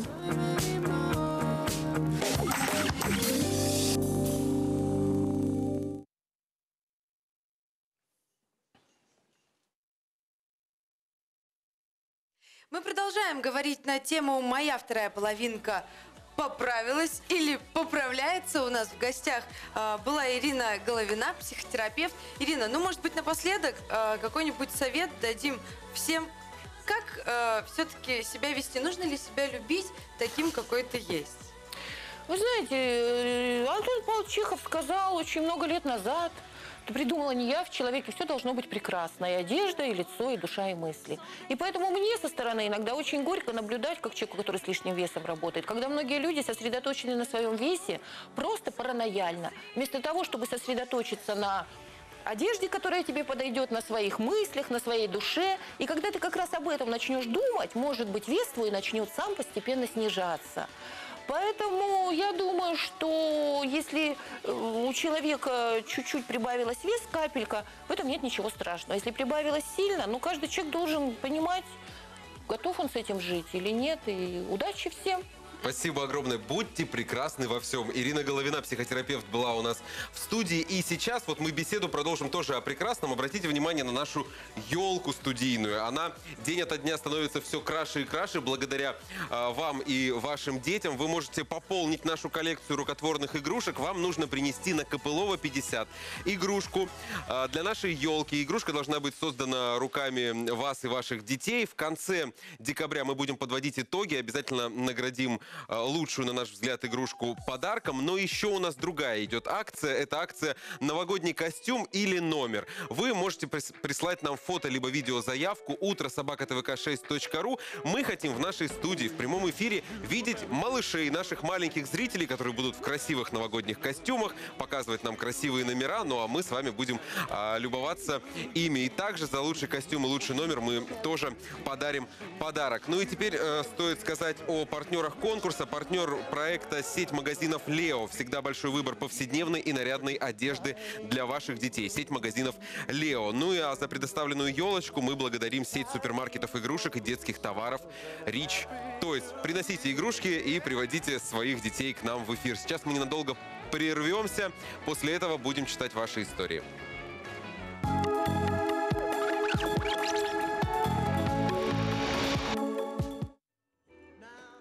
Отличного дня, 9 декабря на календаре. Сегодня вторник. Сейчас расскажу вам о погоде. Облачно, небольшой снег. Это по прогнозам метеорологов. По официальным данным сегодня будет ветер юго-западный от 2 до 5 метров в секунду. Давление существенно не изменится. Утром температура воздуха минус 12, днем будет минус 9, а вечером немного похолодает до минус 11. Прогноз погоды в Новом утре представляет свадебный торговый центр «Блэс». Создавая свой свадебный образ, начните с лучшего. Еще раз всем хорошего утра, уважаемые. Говорим мы сегодня о том, как сказать своей половинке если вдруг она поправляется. Ну, мне вот нравится мотивация, правда. Если человек к чему-то мотивирует, это здорово. Можно купить ему одежду меньшего размера или ей, да, и сказать, вот оно очень дорогое. Ну, прямо я 50 Ой, тысяч будет... рублей да. потратил. Кстати, вот не это мог пройти идея. мимо, Мне на тебе кажется, будет тебе, смотреться тебе вообще идеально. будет, Да, это ну, очень классно. круто. Другого размера не было. И Есть замечательное сообщение, пришло нам ВКонтакте. Мой муж парень деревенский. Когда мы начали совместную жизнь, я поняла, если буду есть так же, как он, то стану раза в три больше, чем была. На ночь пельмешки домашние, сальцо жареное с лучком и все в таком роде. Я сразу дала себе установку держать себя в руках и не поддаваться на вкусные аппетитные ароматы. Вот прошло 10 лет, у мужа начал расти животик. Лично я ему сказала напрямик, дорогой, у тебя живот начал расти, давай со мной в спортзал ходить, или когда он на ночь ест, я ему говорю, ты не лопнешь, деточка? Но кто ему скажет правду, кроме меня? Мы же с ним самые близкие люди, конечно, я стараюсь меньше стряпать, не потому что я не хочу, это я для любимого лучше же стараюсь. Зато мне говорит, если будешь такой же, как теща, не маленьких форм, придется жену другую искать. И где справедливость? О, я знаю, кстати, такие тоже истории. Я не понимаю таких мужчин. Есть у меня даже несколько историй, когда он позволяет себе все, при этом достаточно раздобрел, а ей все, ты только поправишься, до свидания. Это я вообще не понимаю, как А у можно меня быть с рядом с моим парнем человеком. была такая история. Когда мы только познакомились, я была немного крупнее. Мгм. Это интересная Давай, история. давай, я была немного крупнее, и он все время мне говорил, ну где твой пре- пресс, где твой пресс? Я хочу пресс, вот прям вот, И вот эти вот давай его- и стиральные ты давай его доски. спросила, есть ли пресс у него? У него есть пресс. Я говорю, ну... Она не- прессанула его просто. Ну, Нет, я говорю, ну, у, меня генетика не такая, не знаю, говорю, мне кажется, у меня никогда не будет такого пресса прям идеального-идеального, чтобы там были кубики. Да. Ты знаешь, отправь его в спортзал, пускай у мужиков пресс потрогает. Там много с кубиками, ребят. Ну потрогает их. Мне Ну, кажется, у женщин не должно быть кубиков на Подожди. животе. В общем, я подумала, думаю, ну ладно, наверное, нужно худеть. Я похудела, э, на мой взгляд, это было уже даже немного критично. В итоге он так начал на меня смотреть и говорить, может быть, ты поправишься чуть-чуть? Может быть, мы сегодня в кафе сходим? Я говорю, а что не так? Ну, как-то мне вот нравилось, когда было много аппетитных форм. Сейчас все вернулось э, на круги своя. И он говорит, мне все нравится. Не надо мне пресса никакого. Все, мне нравится так, как оно есть сейчас. Видимо, он сходил в спортзал и потрогал и понял. Понял, нет, Это не то. А, Пишет нам зрительница. Доброе утро. Мы с мужем живем 19 лет. Было много трудностей, например, ипотека. Но сейчас вроде жизнь устаканивается и можно... Например, ипотека. И можно было бы... И можно было бы растолстеть, да, жизнь устаканилась. Только вряд ли это произойдет, так как я не люблю стряпанные чипсы, терпеть не могу конфеты и тортики. Еще ненавижу колбасу. И вообще у меня мама в деревне, поэтому мы едим здоровую пищу. Счастливый человек. Есть еще один счастливый человек. Когда мы с мужем познакомились, он был 80 килограммов, а я 60. Живем седьмой год. Любимый поправился до 105. Такой в меру упитанный. Мне нравится он такой, люблю его. А вот я кушаю все подряд. И родила. Как была 60, так и есть. Это очень круто. Да, вы такая счастливая Я вам завидую, Знаете, у меня, честное у меня слово. есть одна печаль небольшая по этому поводу, что мы все предъявляем какие-то требования да, к своей внешности, ну, часто в парах. А, ты говоришь, что вот, ну, есть какая-то стандартизация, ты должен вешать столько, столько. Но, к сожалению, мы забываем о самой главной стороне составляющей. Ведь только встречают по одежке, провожают по уму. И в семейных парах очень мало кто говорит, «М- мужчина, ты мало читаешь, удиви меня еще чем-нибудь, как тогда на первых свиданиях. Мгм. Или он ей это говорит. И вот эту вот основную часть взаимоотношений мы, к сожалению, упускаем за тем, чтобы следим за чьим-то весом или недовесом. Это вот печальная сторона А, этой медали. Я полненькая женщина, но я себя люблю. Я доброму обещана, возможно, королю. Трещат на мне все платьица, а я все, э, все равно поем. Я женщина-проказница, я нравлюсь, но не всем. Вот длинное сообщение пишет нам Наталья. Вот такой тоже А, ну хороший стих. классная, но вот э, я, кстати, очень люблю бороться с зависимостями в себе, зависимостями в себе, да, и вот с какими-то страхами. И пищевая зависимость самая сложная зависимость. Об этом говорят, что это сложнее там большинства наркотических и алкогольных зависимостей. И с ней приятно побороться. Я часто стараюсь просто есть меньше. И если вы возьмете что-то в систему для себя, просто кладите на две ложки меньше неделю. На следующей неделе кладите еще на две ложки меньше. И потом вы просто будете есть меньше еды и ей наедаться. Это абсолютно простая вещь. Я раньше ел столько, сколько я сейчас представить не могу. А сейчас просто, ну, мне этого не нужно. Пишет нам вот э, зрительница, что не обиделась на мужа, когда он ей подарил весы, сказала ему спасибо, что намекнул на мой лишний вес. Сейчас все хорошо, я вернулась в свою форму. Елена. Ну, вот, И знаете, быва- хорошая бывает, история. бывает такая штука, что вот ты не говоришь, чел- ну, человек начинает тебе чем-то не нравиться, это и в отношениях на работе бывает, кто начинает тебя мелко раздражать, Мгм. да, а ты каждый раз ему не говоришь этого. А потом начинает эта точка кипения назревает, и уже ты думаешь, да я тебя просто ненавижу, да. И, и в- и в семье вот так же бывает. Мне кажется, что вот по- пошел первый звонок, ты сразу скажи, мне кажется, ты, ну, как, давай вместе там следить за весом, например, давай правильно твоим. пита- Да, за твоим. Ну, как-то, или простимулировать как-то в самом начале, когда еще не все запущено, когда мужчина не как у нас в новостях ТВК показывали 200 с чем-то килограмм, да, и у него не Да, удерживается. да. Но это, конечно, болезнь уже, да, там есть какие-то медицинские показатели, но все равно, мне кажется, лучше начинать вот с малого. Не давать, короче, не давать моцкусу много есть. А то из-за этого же тема, да, у нас пошла. Ну, я, шу- я шучу, у всех бывают А, такие перепады. А я, когда стала жить со своим Дениской, потолстела на 15 килограммов, а он на 20. Сказались поздние ужины. Он не ест без меня вечером, а я не ем без него, когда возвращаюсь. А, История длинная, мы продолжим ее читать после рубрики «Киношка». Сегодня о том, как снимался фильм «Константин. Повелитель тьмы». И, кстати, Киану Ривза фанаты хотели закидать даже помидорами за эту роль. Отметивший в этом году 50-летний юбилей, актер Киану Ривз жалуется, что ему сейчас все реже предлагают роли. В одном из интервью он поделился, что мечтал сыграть Росомаху и Бэтмена, но по разным причинам не смог этого сделать и сейчас сильно жалеет. А ведь было время, когда актер был на расхват.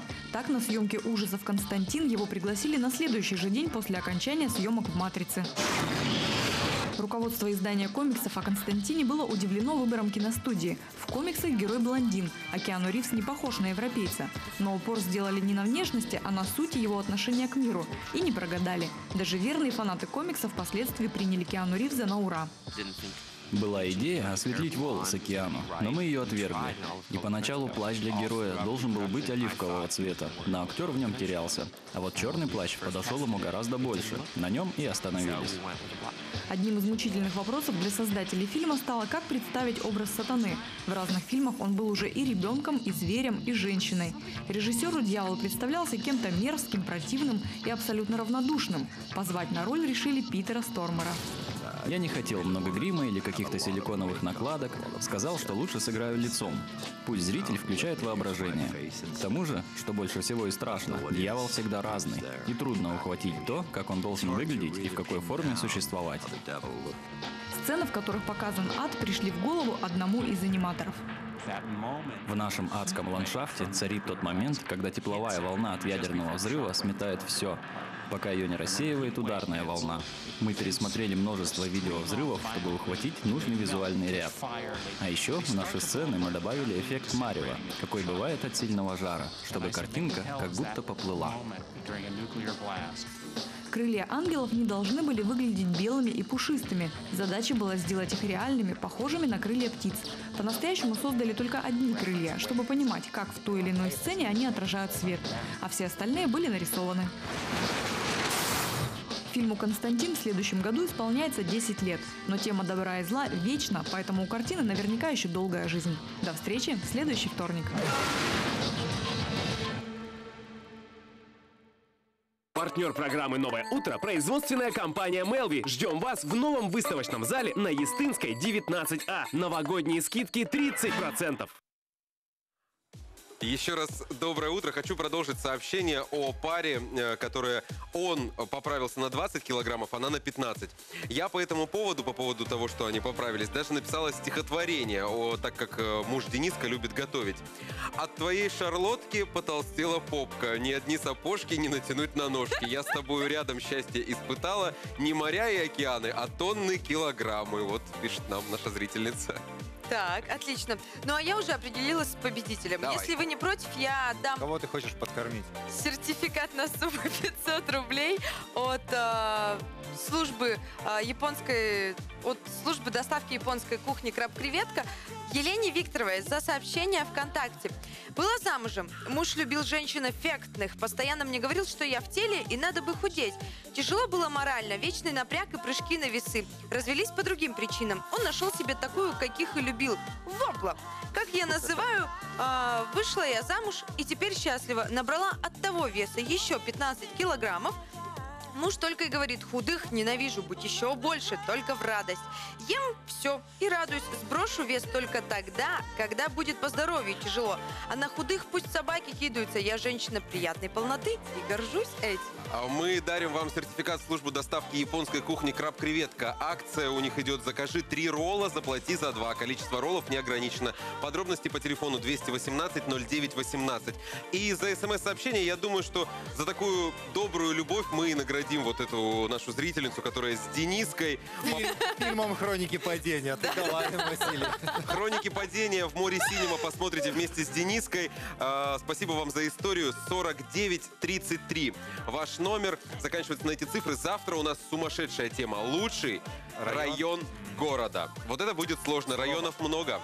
А Мне кажется, будет горячо и жарко. Присоединяйтесь на 9020 пометка утра. А в нашей группе ВКонтакте вы уже прямо сейчас можете оставить сообщение о лучшем районе города. Ну а завтра мы их непременно прочитаем. Кристина Мигунова, Василий Баранов. И, Александр Смол. Саш, я пойду поем, так проголодался. Да, я тоже хочу есть. Я почитаю. О, смотрите-ка.